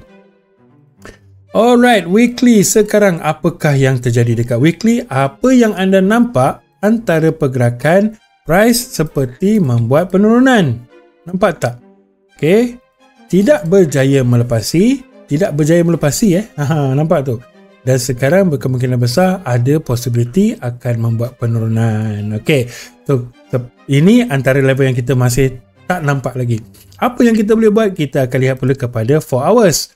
So, dalam line ini pergerakan 4 hours dia berjaya membuat kenaikan sampai ke level yang berada di sebelah kiri dia ni. Betul tak? Ok yang ini. So ini adalah level 4 hours. Uh, dia punya first left resistance lah. Ok so di sini. Dan seterusnya sekarang price seperti membuat penurunan ke bawah. So dia punya next apa? Uh, first left adalah berada di bawah ni. So apa yang saya katakan tadi, jika price berjaya break, bermaksud akan menuju ke level yang ini. So antara dua level ini jika berjaya dipecahkan bermaksud akan ada penurunan lagi ke bawah. Jika tidak, bermaksud tiada lagi penurunan. Cuma daripada sudut multi time frame dan daripada sudut 4 hours kita melihat akan ada penurunan. So 1 hour ada penurunan, 4 hours pada penurunan dan weekly pun kita nampak seperti membuat penurunan. So bila terjadi pergerakan begini, apa yang saya boleh katakan berkemungkinan besar pada minggu depan akan terjadi sideways. Sebab dia tak selari dalam semua grup itu. Ha, so berkemungkinan besar akan jadi sideways. Tetapi tak mengapalah. At least kita melihat dahulu daripada sudut pergerakan. So anda nak nampak, anda boleh jangkakan. So bila kita bercerita tentang sideways, berkemungkinan besar apa-apa pair yang diwakili oleh USD juga mungkin akan ada pergerakan sedemikian. Cuma anda perlu faham, jika USD JPY, JPY membuat kekuatan dan adalah pergerakan dia. Ha, saya harap anda faham begitulah. Eh. Okay, so sekarang untuk multi time frame, kita menjangkakan akan ada sideways. Dan seterusnya, jika kita melihat pula daripada sudut pergerakan market structure seperti yang saya jangkakan sebelum ini, ini adalah pergerakan di mana first dia dah break. Betul tak? Level yang ini dia dah break lah pun. So tak menjadi masalah lah. Sebab dia dah break pun. Dalam masa yang sama juga, level yang ini juga telah berjaya di breakout. Nampak? Okay. Lepas tu tiba-tiba ada seperti penurunan ke bawah. So kalau kita gunakan Line chart kita dah nampak dah clear dia dah membuat break. Tapi sekarang di bawah ini ada tak break? Masih tiada break. So apa yang saya boleh katakan? Jika kita melihat kepada market structure berkemungkinan besar akan ada penurunan sampai ke level yang ini pula dan di sinilah nanti baru kita lihat sama ada terjadinya kenaikan ataupun terjadinya penurunan okey tapi apa pun daripada sudut pergerakan market structure kita menjangkakan akan ada penurunan sedikit ke bawah dahulu dan seterusnya barulah mungkin market nak membuat kenaikan ke ataupun tidak ke. Sebab anda perlu faham satu benda jika kita lihat daripada dia punya sejarah dia setiap pergerakan bergerak dalam pergerakan sideways nampak tak? Sideways naik sideways lagi. Ok lepas tu dia naik lagi betul tak? Ha, warna orange dah tak nampak dah ok dan dia naik sekarang turun main sideways lagi. So adakah akan terjadi sideways ke bawah pula? Ha, mungkin dia turun dan dia buat sideways, sideways, sideways, turun pula ke bawah, sideways lagi sekali. Ha, ini yang kita nak lihat. Tetapi sebelum itu, price perlu break dahulu. Dia perlu membuat kenaikan dan membuat penurunan. Jika dia membuat penurunan, dia perlu break balik level yang ke bawah dan seterusnya perlu break level yang berada di sini. Barulah kita akan melihat terjadinya penurunan. Ha, ini baru kita lihat adanya penurunan. Tapi buat masa sekarang, jika anda lihat daripada market structure sendiri pun, apa yang kita boleh katakan? Price berjaya break level ini. So, bila berjaya break level ini, jika adanya penurunan pun, dia akan menyambung kenaikan lagi ke atas sebab dia perlu pergi pula kepada level-level dia. Yang ini dah break, of course lah dia nak pergi ke sini pula. Ah, lebih kurang begitulah maksud saya. Ah, dia nak pergi ke sini pula supaya dia nak melengkapkan pergerakan dia. Alang-alang dah break ni, naik je lah terus. Betul tak? Ah, lebih kurang begitulah apa yang kita boleh jangkakan, apa yang kita boleh fikirkan. Ah, faham eh? Alright. Ini adalah daripada sudut pergerakan melihat daripada struktur itu sendiri. Okey. So bila kita bercerita tentang Elevate Nostra, saya akan padam dahulu semua benda ini. Apa yang kita nampak adalah yang pertama sekali. Okey. Kalau kita nak ambil daripada sudut pergerakan, kita ambillah daripada daily eh sebab kita nak yang paling terdekat lah lebih kurang begitu. Okey. So bila kita dah nampak adanya satu motif ataupun momentum yang kuat iaitu dia membuat kenaikan ke atas. Okay. So ini cukup syarat dah dia. So biarkan dia saja. Betul tak? Bila dah ada benda ini, apa yang saya boleh katakan, dia membuat correction. Betul tak? So the whole structure ini adalah correction. Okay, kita tak ambil yang dulu yang tepi eh. Sebab kita nak lihat apa yang terjadi. Kita ada satu motif, kita ada satu level correction. Sekarang yang menjadi persoalan adalah level correction ini pun tak menunjukkan pergerakan yang cantik. Tak menunjukkan ada pergerakan yang seragam. Faham tak? Dia tak cantik pun. Sebab kalau dia nak betul, biarlah dia bergerak membuat penurunan ke bawah baru membuat kenaikan ke atas. So, adanya level breakout dan barulah dia akan membuat kenaikan. So, kan ianya lebih cantik begitu daripada pergerakan yang sekadar itu sahaja. Uh, dia tiba-tiba turun naik turun balik naik balik. Uh, so itu bagi saya masih bergerak dalam keadaan correction ataupun dalam sideways. Itu sahajalah. Ianya lebih mudah untuk kita jangkakan sedemikian. Okey so kita dah nampak pergerakan yang pertama dan seterusnya kita melihat pergerakan dalam bentuk korektif ataupun correction okey so saya faham so bila kita dah nampak yang ini semua apa yang kita boleh jangkakan daripada pergerakan yang terakhir? Adakah pergerakan ini membuat kenaikan dalam bentuk motif ataupun tidak? So, pertama sekali, kita nampak adanya satu pergerakan momentum yang kuat. Okay, nampak dah satu. Dan seterusnya, price membuat pit stop. Ha, lepas tu, dia membuat kenaikan lagi sekali, tiba-tiba terjadinya pit stop. Anda perlu faham satu benda. Dalam pergerakan ini, jika dia nak membuat motif ataupun menaik yang kuat, okay, saya tunjuk dulu pergerakan dia. Ini semua correction saja. So, payah kita nak tunjuk. Apa? Saya nak tunjuk uh, lebih mudah nanti kalau saya tunjuk begini. Sebagai contoh. Dia membuat satu pergerakan menurun. Lepas tu dia membuat motif. Eh, membuat correction. Betul eh? Dan seterusnya nampak dia membuat penurunan di mana panjang dia sendiri pun berbeza. Nampak tak? Ha, panjang pun beza. Lepas tu dia membuat korektif. So ini kita ambil lah contoh pergerakan yang dibuat adalah pergerakan motif. Which is memang nampak pun motif. Betul tak? Memang nampak pergerakan motif pun seperti adanya kekuatan ke bawah. Dan seterusnya barulah dia membuat uh, pergerakan yang sedikit ini iaitu melengkapkan pergerakan motif dia motif, motif, motif disokong dengan dua correction. Barulah dia membuat kenaikan ke atas pula. Nampak? So, benda yang sama jika kita lihat. Okay. Pergerakan membuat kenaikan. Dia terus membuat penurunan balik. Iaitu correction. Bila dia membuat kenaikan ni, nampak tak tak berapa cantik. Tetapi, apa-apa pun bolehlah kita kira. Betul tak? Tapi cuma daripada sudut apa yang kita nampak seperti tidak berapa cantik. Tetapi, apa yang saya boleh katakan, terjadinya korektif lagi sekali. So, bila terjadinya pergerakan sedemikian, benda yang pertama kita perlu expect adalah akan terjadi first, uh, last punya pergerakan motif. Ha, itu yang saya nak bagi tahu kepada anda semua supaya anda semua dapat memahami pergerakan itu sendiri. So, bila terjadinya pergerakan sedemikian, apa yang kita boleh cerita adalah terjadinya pergerakan yang pertama, pergerakan yang kedua dan akhirnya akan membuat pergerakan yang ketiga. Nampak tak uh, jalan cerita dia?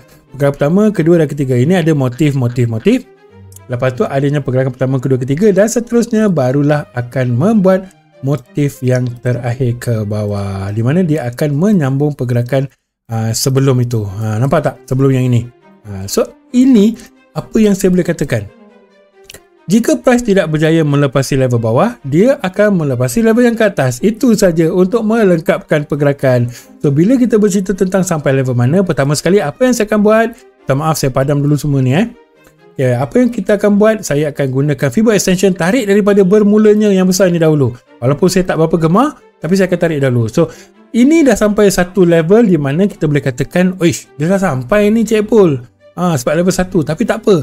Sebab anda belum faham kita perlu ambil dua level at least yang pertama dan juga yang kedua ok so dua level ini kita akan jadikan sebagai level 2 monitor kita yang ini dah jadi dah pun ok so ini area 2 monitor dan juga nanti pun area 2 monitor ok sekarang saya tak bagi target sebab kita dah berada di level yang sama faham eh tuan-tuan saya harap anda faham yang itu kita berada di level yang sama iaitu ada level 1 So paling kurang pun jika terjadinya kenaikan bermaksud price akan break yang satu ini.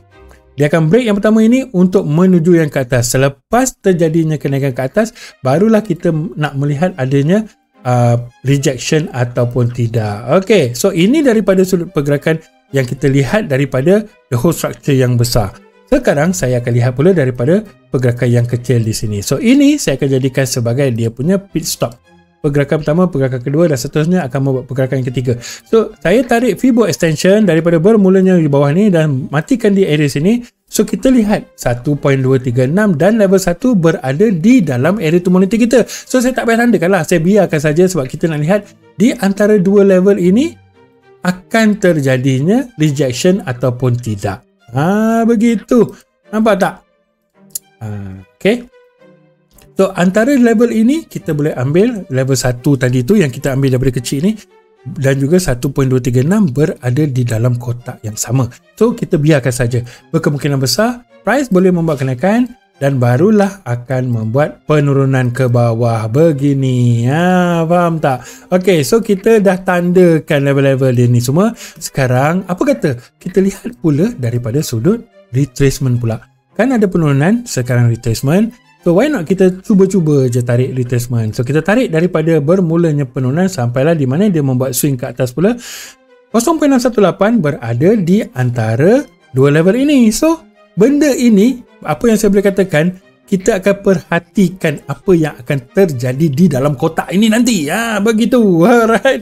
Okay. So, untuk US dollar index, saya menjangkakan akan ada kenaikan sehingga ke level kotak yang berada di atasnya. Tetapi jika price dah sampai level dia dan dia tak nak naik lagi bermaksud kita akan melihat pula kepada pergerakan membuat penurunan ke bawah. Tetapi anda perlu faham jika dia nak membuat penurunan ke bawah dia perlu break level yang ini sekali lagi. Okay? So dia akan break ke bawah ini dan barulah dia akan membuat pullback dan barulah akan terjadi uh, penurunan pula. Uh, gitu. Alright, so ini untuk US dollar index. Seterusnya kita akan melihat pula kepada pergerakan uh, perkongsian saya yang terakhir iaitu USD lagi. Mana ada XAU USD ataupun gold. Alright. Seperti yang saya kongsikan dengan anda semua pada uh, sewaktu saya live pada hari Rabu uh, di mana waktu itu adalah new CPI kita melihat pergerakan akan membuat kenaikan di antara salah satu level target yang saya dah tandakan di atas dan seterusnya price akan membuat penurunan. Dan apa yang terjadi pada hari Rabu itu Walaupun waktu CPI itu pergerakan dia agak slow lah, eh, agak slow tetapi akhirnya price membuat kenaikan ke atas dan sampai ke area target yang kita dah tandakan pada hari Rabu lepas price membuat penurunan. So ini seperti yang saya katakan tadi, saya melihat kepada arah market yang pertama dan yang kedua saya melihat kepada penggunaan Haze Currency Meter. Okay, di mana waktu Haze Currency Meter ini dia menunjukkan kekuatan sat, salah satu instrumen yang ada dalam dunia trading kita ini. Ha, so lebih kurang begitu. So jika anda dapat lihat di chart saya adanya uh, XAU USD, ada US30, ada DXA, US oil nampak tak? So bila anda nak trade tu, especially ke uh, sewaktu uh, news tu, kita sebenarnya dapat menjangkakan tapi anda perlu faham satu benda anda kena lihat daripada pergerakan ataupun ke manakah arah trend dia dahulu dan barulah kita akan refer kepada uh, Haze Currency Meter. Ha, itu yang saya gunakan. Sebab tu saya katakan nanti mungkin tak lama lagi saya akan keluarkan pula apa mungkin saya akan ajar anda bagaimana kita nak menggunakan Elevate Nostra bersama dengan Haze Currency Meter. Ha, begitu. Okey, okey, okey. So, kita dapat lihat selepas terjadinya kenaikan dan seterusnya price membuat penurunan. Di mana di sini juga kita dapat uh, dapat berapa ratus pip ni? Kalau tak salah saya 500 ke? Uh, 700 pip guys. 700 pip. Uh, lihatlah bagaimana penurunan dia. Uh, saya masuk entry waktu PPI tu pun Alhamdulillah 400 pip juga. Uh, betul tak? So New CPI membuat kenaikan PPI membuat penurunan ha, hari Kamis, eh hari Rabu, hari Kamis. Ha, begitu, okay. So, ini antara pergerakan yang kita dapat lihat bila kita tahu ke manakah arah dia. Benda ini sebenarnya bagaimana kita um, decipher dia adalah dengan menggunakan, macam saya, saya menggunakan Elewave Nostra untuk menjangkakan sama ada akan terjadi kenaikan atau akan terjadi penurunan itu sahaja. Ha, okay? Saya harap anda semua dapat belajar bersama-sama dengan saya sebenarnya. Ha, sebab tu saya katakan, bila hari Rabu tu jangan uh, kalau boleh luangkan masa sedikit. Ha, sebab waktu tu saya ajar secara live. Anda nak tanya ke apa ke waktu tu tanyalah. Ha, nanti bila saya buat seca- kelas secara fizikal nanti, kalau anda jauh, anda tak dapat nak join saya. Ha, tunggu kena tunggu pula bila saya buka satu kelas webinar pula nanti. Ha, betul tak? Okey, okey, okey. So, sekarang ha, kita biarkan dahulu pergerakan ini. Kita akan lihat pula ke manakah pergerakan untuk US dollar indeks pada minggu depan. Ini lagi satu seperti yang saya kongsikan pada hari Jumaat lepas saya melihat kepada dua kebarangkalian itu target what if yang pertama dan juga target what if yang kedua. Okey, so waktu ini ada soalan daripada seorang uh, sahabat uh, yang saya saya bukan saya tak kenal pun tapi kenal dalam Facebook saja. Okey, beliau bertanyakan kalau kita nak lihat kalau kita ada dua what if yang mana satu kita akan pentingkan dahulu. So jawapan saya Walaupun saya dah komen dekat dia tetapi saya nak kongsikan dengan anda semua jika kita ada dua what if kita perlu fokus kepada what if yang mengikut trend dia dahulu. Okay, what if yang pertama ni bukan ikut trend. Dengar betul-betul eh. Saya lukis ataupun saya tandakan minta maaf lukis pula. Mana kita lukis-lukis ni betul tak? minta maaf tuan-tuan. Saya tandakan bukan mengikut trend dia. Ha, saya harap anda faham. Kenapa bukan mengikut trend dia? Sebab saya dah tandakan beberapa. Jika anda nak tonton, anda kena tengok pula kepada channel saya lah. Saya dah berkongsi lah benda tu. Ha, hari Jumaat punya perkongsian, saya dah, saya dah ceritakan semuanya kenapa kita melihat kepada target what if yang pertama dan seterusnya what if yang kedua. Okay, faham eh? So, what if yang kedua adalah mengikut trend dan seterusnya saya menandakan what if akan membuat penurunan. So ini jika anda lihat pun dalam 300 lebih 400 pip juga kot. Okay. Daripada bermulanya anak panah ini sampailah ke bawah membuat 400 juga pip. Ah bayangkan bayangkan.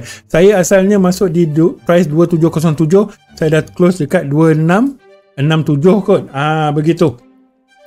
Tapi ini membuat penurunan. So, apa yang saya nak katakan kepada anda, saya tak menggunakan apa-apa pun. Tetapi seperti yang saya kongsikan dalam video intro saya tadi, kita perlu ada rule based trading. Apakah yang dimasukkan dengan rule based trading? Rule based trading adalah disiplin. Benda ni adalah penting, disiplin. Anda perlu tetapkan time frame apakah yang anda akan gunakan. Itu pertama. Seperti saya, saya akan gunakan 4 hours. Yang kedua, anda perlu tetapkan confirmation anda.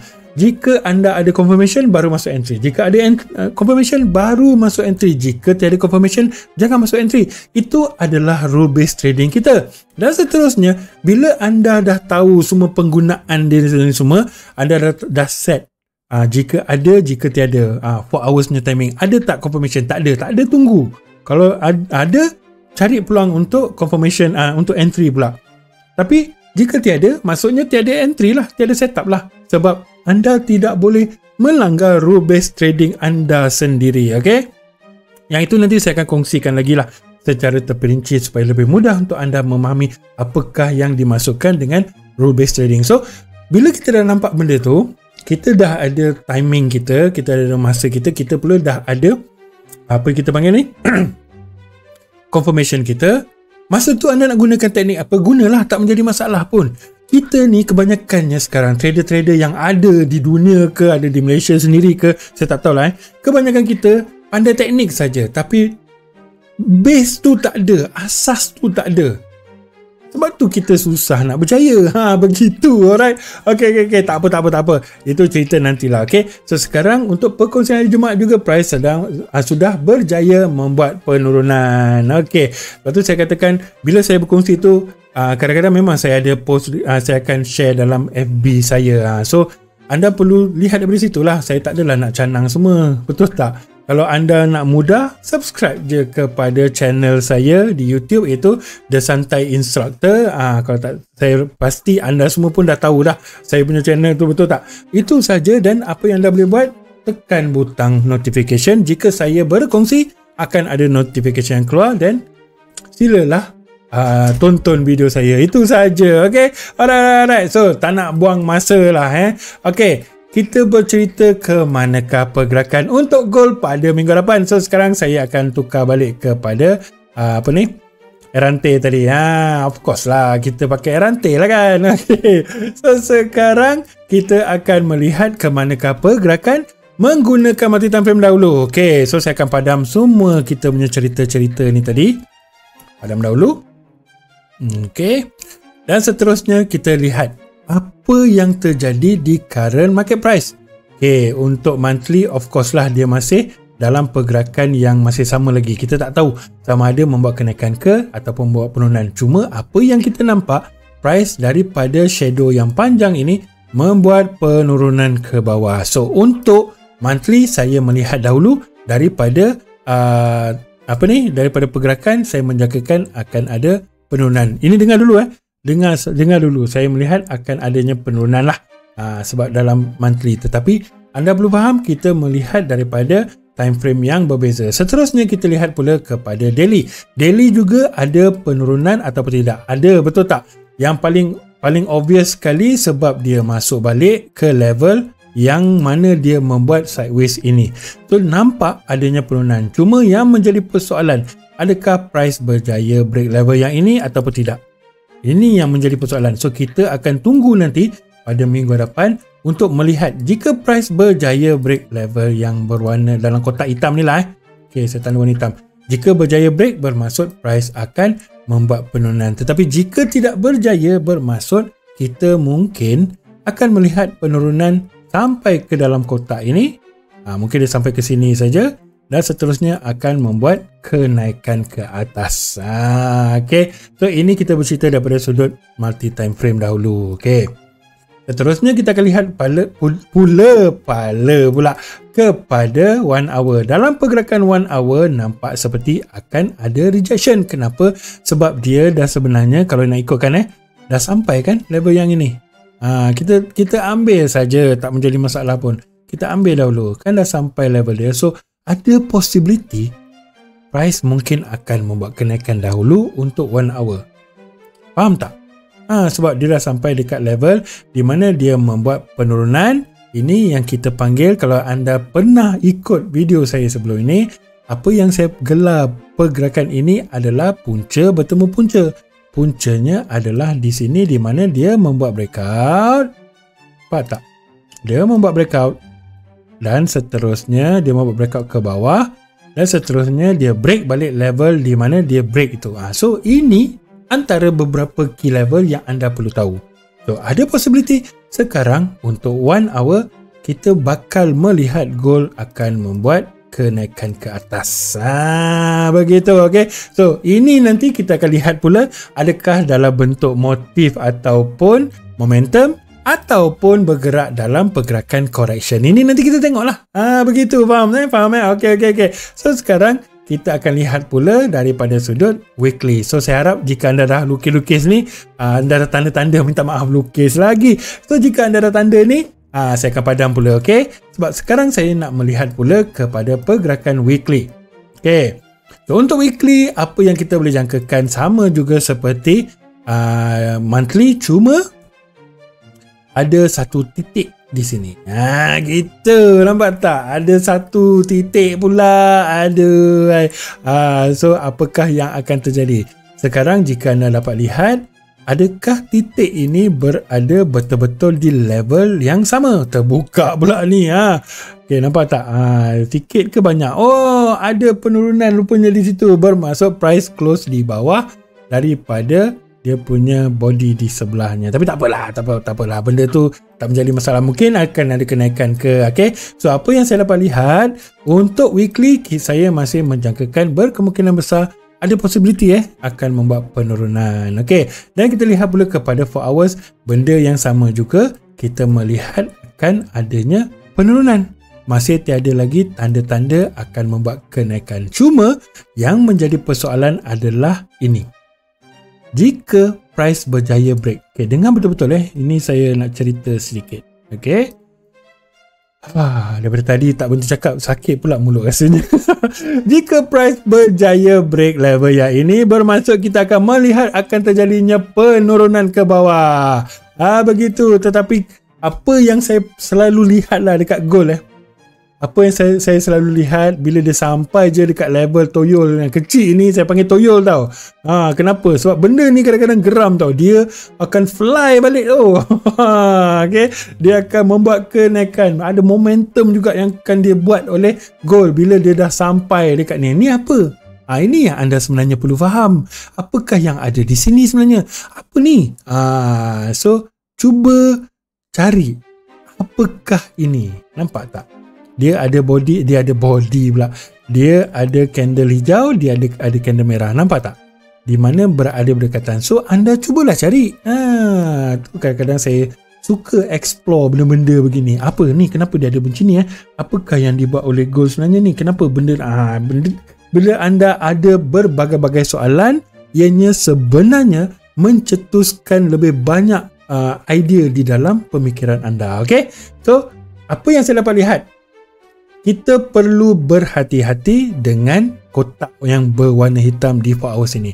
Berkemungkinan besar akan terjadi rejection ataupun kenaikan untuk minggu depan. Dengar betul-betul, okay? So, ini yang kita akan jangkakan dahulu menggunakan multi time frame dan seterusnya kita melihat di area-area yang ada zone ni. Ha, benda-benda ni paling penting. Walaupun kita melihat akan terjadinya penurunan tetapi anda perlu faham sebelum price membuat penurunan akan ada retracement. Dia tak adalah terus dia pergi ke bawah. So saya harap anda semua dapat memahami apa yang saya sampaikan ni lah. Ok so kita akan tutup uh, multi time frame.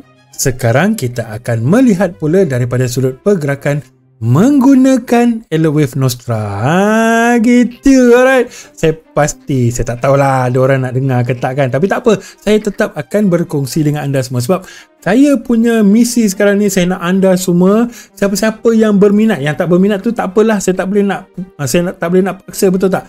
Tapi siapa-siapa yang berminat untuk belajar Elewave Nostra, kekallah anda dengan saya. Ha, sebab saya akan setiap, sentiasa berkongsi dengan anda. Itu je saya nak. Saya nak anda semua faham. Okay? Ah, saya nak anda semua faham supaya lebih mudah untuk kita melihat ke manakah pergerakan itu saja. Okay, so sekarang untuk melihat kepada pergerakan Elway Nostra, kita perlu mengetahui di time frame yang lebih besar apakah yang terjadi. Okay, so first kita dah nampak adanya satu pergerakan yang agak besar. Selepas tu apa yang terjadi? price membuat correction. So saya kena ambil lah daripada sini, betul tak? Sebab dia walaupun dia bergerak dalam keadaan nampak yang kuatnya, nampak tak?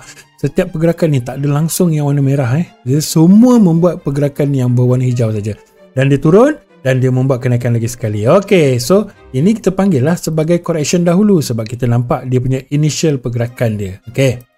So sekarang ini terjadinya pergerakan iaitu membuat uh, correction. So kalau kita gunakan Elway Nostra, kita akan jangkakan terjadi lagi sekali motif di sini sebab dia perlu menghormati pergerakan di sebelah kiri dia ini. Ha, faham eh? Sebab kita bercerita tentang pergerakan korektif. Apakah pergerakan korektif? Ah, ha, yang tu saya dah kongsilah dalam per, apa dalam perkongsian pada hari Rabu lepas. So kalau anda nak lihat, anda boleh pergi ke FB saya dan carilah. Ha, saya berkongsi dalam page SQD. Alright, SQD Academy. Ha, okay. Dan seterusnya, ini yang saya akan lihat dahulu daripada time frame yang lebih besar lah contohnya. So apa yang saya akan buat? Saya akan tukar kepada 4 hours. Kita nak lihat ada tak pergerakan ataupun pattern. Nampak tak? So kita tak nampak. So apa yang saya boleh katakan? Kita tukar lagi kepada 1 hour. Yang ini saya akan padam dahulu. Okey, daripada setiap pergerakan yang terjadi dan seterusnya membuat penurunan dan membuat kenaikan lagi sekali di mana dia berada selari dengan level yang sama di atas, price tiba-tiba membuat penurunan ke bawah. So bila terjadinya penurunan ke bawah, saya nak anda faham satu benda. Walaupun kita nampak adanya momentum di sini ataupun kita boleh panggil oh eh, ini sebatang dia turun ni cepo tapi anda perlu faham overall pergerakan dia adalah masih dalam pergerakan correction. So bila dia bergerak dalam correction, ini di manakah dia punya pit stop? Anda perlu cari yang itu dulu. Pit stop dia mana? Jumpa ke tak jumpa? Saya tak pasti anda jumpa ke tak. Ha, anak saya pun dah gelak dah tu. saya tak pasti anda jumpa ke tak. Tapi tak apa. Saya tetap akan berkongsi dengan anda. Don't worry, okay? So, ini adalah level pit stop dia. Okay? Saya tandakan dengan warna hitam. Kenapa pit stop di situ? Sebab penurunan, membuat correction dan seterusnya menyambung penurunan. Anda perlu faham yang itu, okay? So, ini level pit stop. So, saya akan tarik sampai ke kanan. Ha. Alright. So, sekarang, bila kita nak uh, ambil Fibo pula Fibo extension kita nak ukur saja-saja je. Saya, saya pun tak tahu sampai level mana ni saya nak try ukur. So saya tarik daripada bermulanya kenaikan penurunan dan sampai kenaikan. Ok so dekat sini apa yang kita nampak? Ada kemungkinan besar gold boleh membuat penurunan lagi sikit sampai ke 2642 ataupun 2631 di mana dua level ini kita jadikan sebagai target Ah, kali ni saya nak buat target. Saya tak nak buat editor monitor. Target sampai sini jadinya rejection. Oh, lebih kurang begitulah.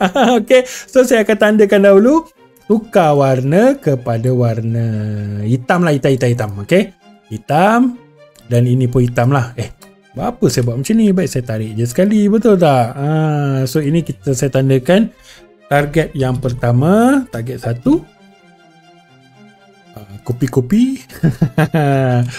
Okey. Dan seterusnya saya akan buat ini sebagai target yang kedua. Eh. Eh. Okey, ini target kedua. Okey, minta maaf tuan-tuan. Ha. Okey, ini target kedua. So, untuk pergerakan gold pada minggu depan, saya menjangkakan eh saya melihat kepada akan terjadinya penurunan mungkin sampai ke sini but most likely saya fikir saya jangkakan dia akan turun sampai sini lah turun sampai sini baru akan membuat kenaikan nah gitu faham tak faham tak Okey, saya menjangkakan melihat akan terjadinya penurunan sampai ke target 2 ni dan barulah membuat kenaikan. Tapi kalau dia sampai target 1 pun, minta maaf lah. At least dia sampai ke target 1. Ha, kalau tak sampai pun tak apa. Apa yang penting sekarang ni, apa yang saya nak beritahu anda, kita ber, price sekarang untuk gold berada berdekatan dengan target 1 dan juga target 2. Target 1 paling dekat. So, jika ada kenaikan di di price yang ini, dan anda carilah peluang untuk entry. adanya pergerakan, adanya confirmation membuat kenaikan, cubalah cari peluang untuk entry. Itu maksud saya. Tak perlulah dia sampai target ni pun sebab ini kita tengok broker, apa ini kita tengok kepada chart yang masih tak bergerak. Katalah tiba-tiba dia ada mau pernah sampai sini dan betul dia membuat rejection di sini dan jika ada confirmation, masuk jalan entry. Tetapi jika tiada lagi confirmation di target 1, anda perlu lihat pula di target 2. Anda perlu faham yang tu. Anda jangan sesekali tanpa ada confirmation sampai target satu anda pun dah lukis lah kat rumah kan. Guna kaca anda MT5 ke MT4 ke. Aa, betul? Lepas tu anda pun terus nampak target satu. Oh tanda target satu. Lepas tu price sampai je anda terus masuk buy. Jangan begitu bahaya. Ok ianya lebih bahaya. Ok so sekarang daripada pergerakan target 1 dan target 2 ini jika saya tukar kepada 4 hours anda boleh nampak dia berada target 1 berada di level ni. Nampak ni yang saya katakan tadi tu. Ha, nampak tak? An nak sebut tak suka tapi itulah toyol dia ni nampak? Ha, saya memang geram kalau ada benda ni. So benda ni kan kadang-kadang kita pun yelah kita trade kita pernah nampak benda ni. Eh dia sampai toyo lah. Tak apa tak apa dia mesti break punya. Sekali dia reverse. Ah itu yang kadang-kadang sakit hati. Walaupun kita target membuat penurunan tetapi anda just imagine eh. Anda imagine anda dah masuk sell dekat sini okay anda masuk sell dekat sini. Pun membuat penurunan katalah sampai sini dah seribu seribu dolar ataupun dua ribu dolar lah katakan. Tiba-tiba anda rasakan uish dia boleh turun ni. Dan apa yang terjadi? Gold membuat kenaikan. Tiba-tiba membuat kenaikan. So yang ini adalah level toyol dia. Nampak tak? Ok so anda dah tengah profit 2000 ni. Tiba-tiba dia membuat kenaikan yang kuat dan anda pula panik padahal memang kita target akan ke bawah lagi lah contohnya. Tapi bila anda panik bila price sampai dekat 1000 anda buat apa? Anda mesti akan close punya. Anda mesti akan close.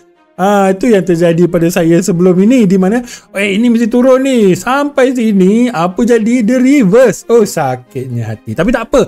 Itulah cabaran yang perlu kita hadapi. So bila kita dah nampak benda ni kita belajar. Kita dah tahu dah okay benda macam ni kita perlu berhati-hati. Sebab ada kemungkinan price boleh membuat reversal di situ. Walaupun target kita adalah ke bawah. Faham eh? Alright. So sekarang kita dah ada target yang pertama iaitu memang selari dengan level ni. So saya akan biarkan target yang kedua ni. Saya akan lihat pula kalau saya nak gunakan Fibo uh, saya gunakan ukuran Fibo saya akan gunakan target satu ok so sekarang bila terjadinya penurunan kalau saya target pergerakan akan membuat penurunan lagi ke bawah. Bermaksud saya akan lihat sampai mana pula price boleh retrace So saya tarik Fibo retracement, kita akan melihat 0.618 dan juga 0.5 akan dijadikan level untuk kita punya next target pula. Okay? Dalam pergerakan ini pula, dalam kotak yang sama. Betul tak? Dalam kotak, apa ni nama dia tadi? Dalam kotak pit stop juga. Ha, so ini target saya di mana jika price membuat penurunan sampai ke target pertama, akan terjadi kenaikan sampai level yang ini. Okay, so bila sampai ke level yang ini, kita akan perhatikan pula. Jika initially dia bergerak dalam momentum yang kuat, bermaksud kita menjangkakan akan ada kenaikan terus ke atas. Faham eh? Tetapi jika pergerakan dia masih dalam keadaan yang cacar marba ataupun masih dalam tak berapa cantik untuk membuat momentum, bermaksud ada possibility price akan uh, break dan uh, akan break pula akan reject dan break level sampai ke bawah ini. Ha, begitulah. So, saya tandakan dahulu antara beberapa level yang saya rasakan ada possibility boleh buat penurunan. Tapi anda perlu faham satu benda. Kita akan melihat nanti pada minggu hadapan apa yang terjadi di sini. Okay, faham eh? Saya tukar warna hitam. Ini saya akan biarkan dahulu. Kalau saya berkongsi nanti apa dalam channel saya, saya takkan gunakan yang ni sebab saya nak kekalkan contengan saya ini. Ha, saya akan lihat nanti apa yang terjadi di pergerakan uh, yang selepas terjadinya price sampai ke target satu tadi ni. So, jika adanya momentum, jika adanya kekuatan, bermaksud kita akan menjangkakan price akan terus membuat kenaikan. Tetapi jika dia bergerak dalam sideways, sideways, sideways, sideways, sideways, sideways saya tak, saya rasa yang ini pun mungkin tak sampai. Dia mungkin akan membuat penurunan lagi. Faham tak apa saya cakap? Jika price bergerak lepas dia sampai ke target yang pertama ni dan dia mula membuat sideways sideways sideways sideways sideways begini bermaksud saya akan menjangkakan akan terjadi penurunan lagi. Faham eh? Ha, so ini saya akan simpan dahulu uh, contengan saya ini sebab nanti kita nak lihat apakah yang terjadi pada minggu depan. Apa-apa pun kita akan perhatikan level yang ini ini level uh, yang boleh saya panggil sebagai dia punya key area. Faham tak? Key area dia. So key area ni sebenarnya dalam trading kita kena ada. Uh, kita kena ada.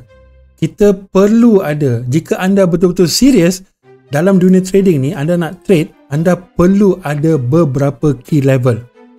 So key level dia nak lihat apa yang terjadi. Antara salah satu cara untuk kita menjangkakan apakah yang akan terjadi kepada market. Faham tak? Okay, saya harap anda semua faham. So ini perkongsian saya untuk goal pada minggu hadapan. Okay, so seperti biasa saya sentiasa mendoakan anda semua untuk berjaya sahaja dan sentiasa profit-profit. Jika anda ingin menambah ilmu, especially dalam Elowave Nostra, selalu anda boleh follow uh, FB saya, Saifuzain ataupun anda boleh follow TikTok saya tapi ingat alhamdulillah minta maaf minta ingat dalam TikTok saya tak berkongsi sangat Okay, saya hanya berkongsi apa yang jadi. Saya lebih berkongsi dalam YouTube sebab saya suka membuat penerangan. Anda dengar penerangan, ianya lebih mudah untuk daripada anda membaca. Betul saya cakap. Sebab bila saya terang, saya terangkan dengan visual. Saya bercakap dan saya gerakkan mouse. Okay, saya akan tunjukkan ini, saya tunjukkan ini. So, bila anda dengar, dalam automatically anda boleh visual dalam pemikiran anda. Tetapi jika anda baca saja, anda hanya baca saja, apa yang anda boleh visualkan? Itu maksud saya, okay?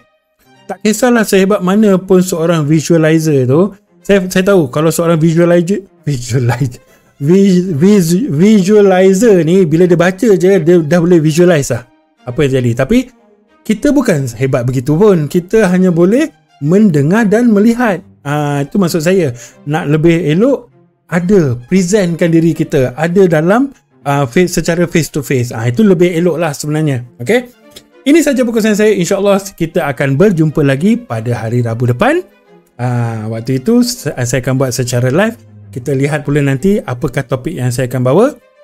Dan seterusnya insyaAllah kita akan uh, kalau ada sesi untuk trade uh, apa live trade insyaAllah kita akan live trade bersama-sama. Ok ini saja perkongsian saya. InsyaAllah kita akan bertemu lagi. Assalamualaikum dan bye-bye. Yeah, yeah, yeah, yeah, yeah.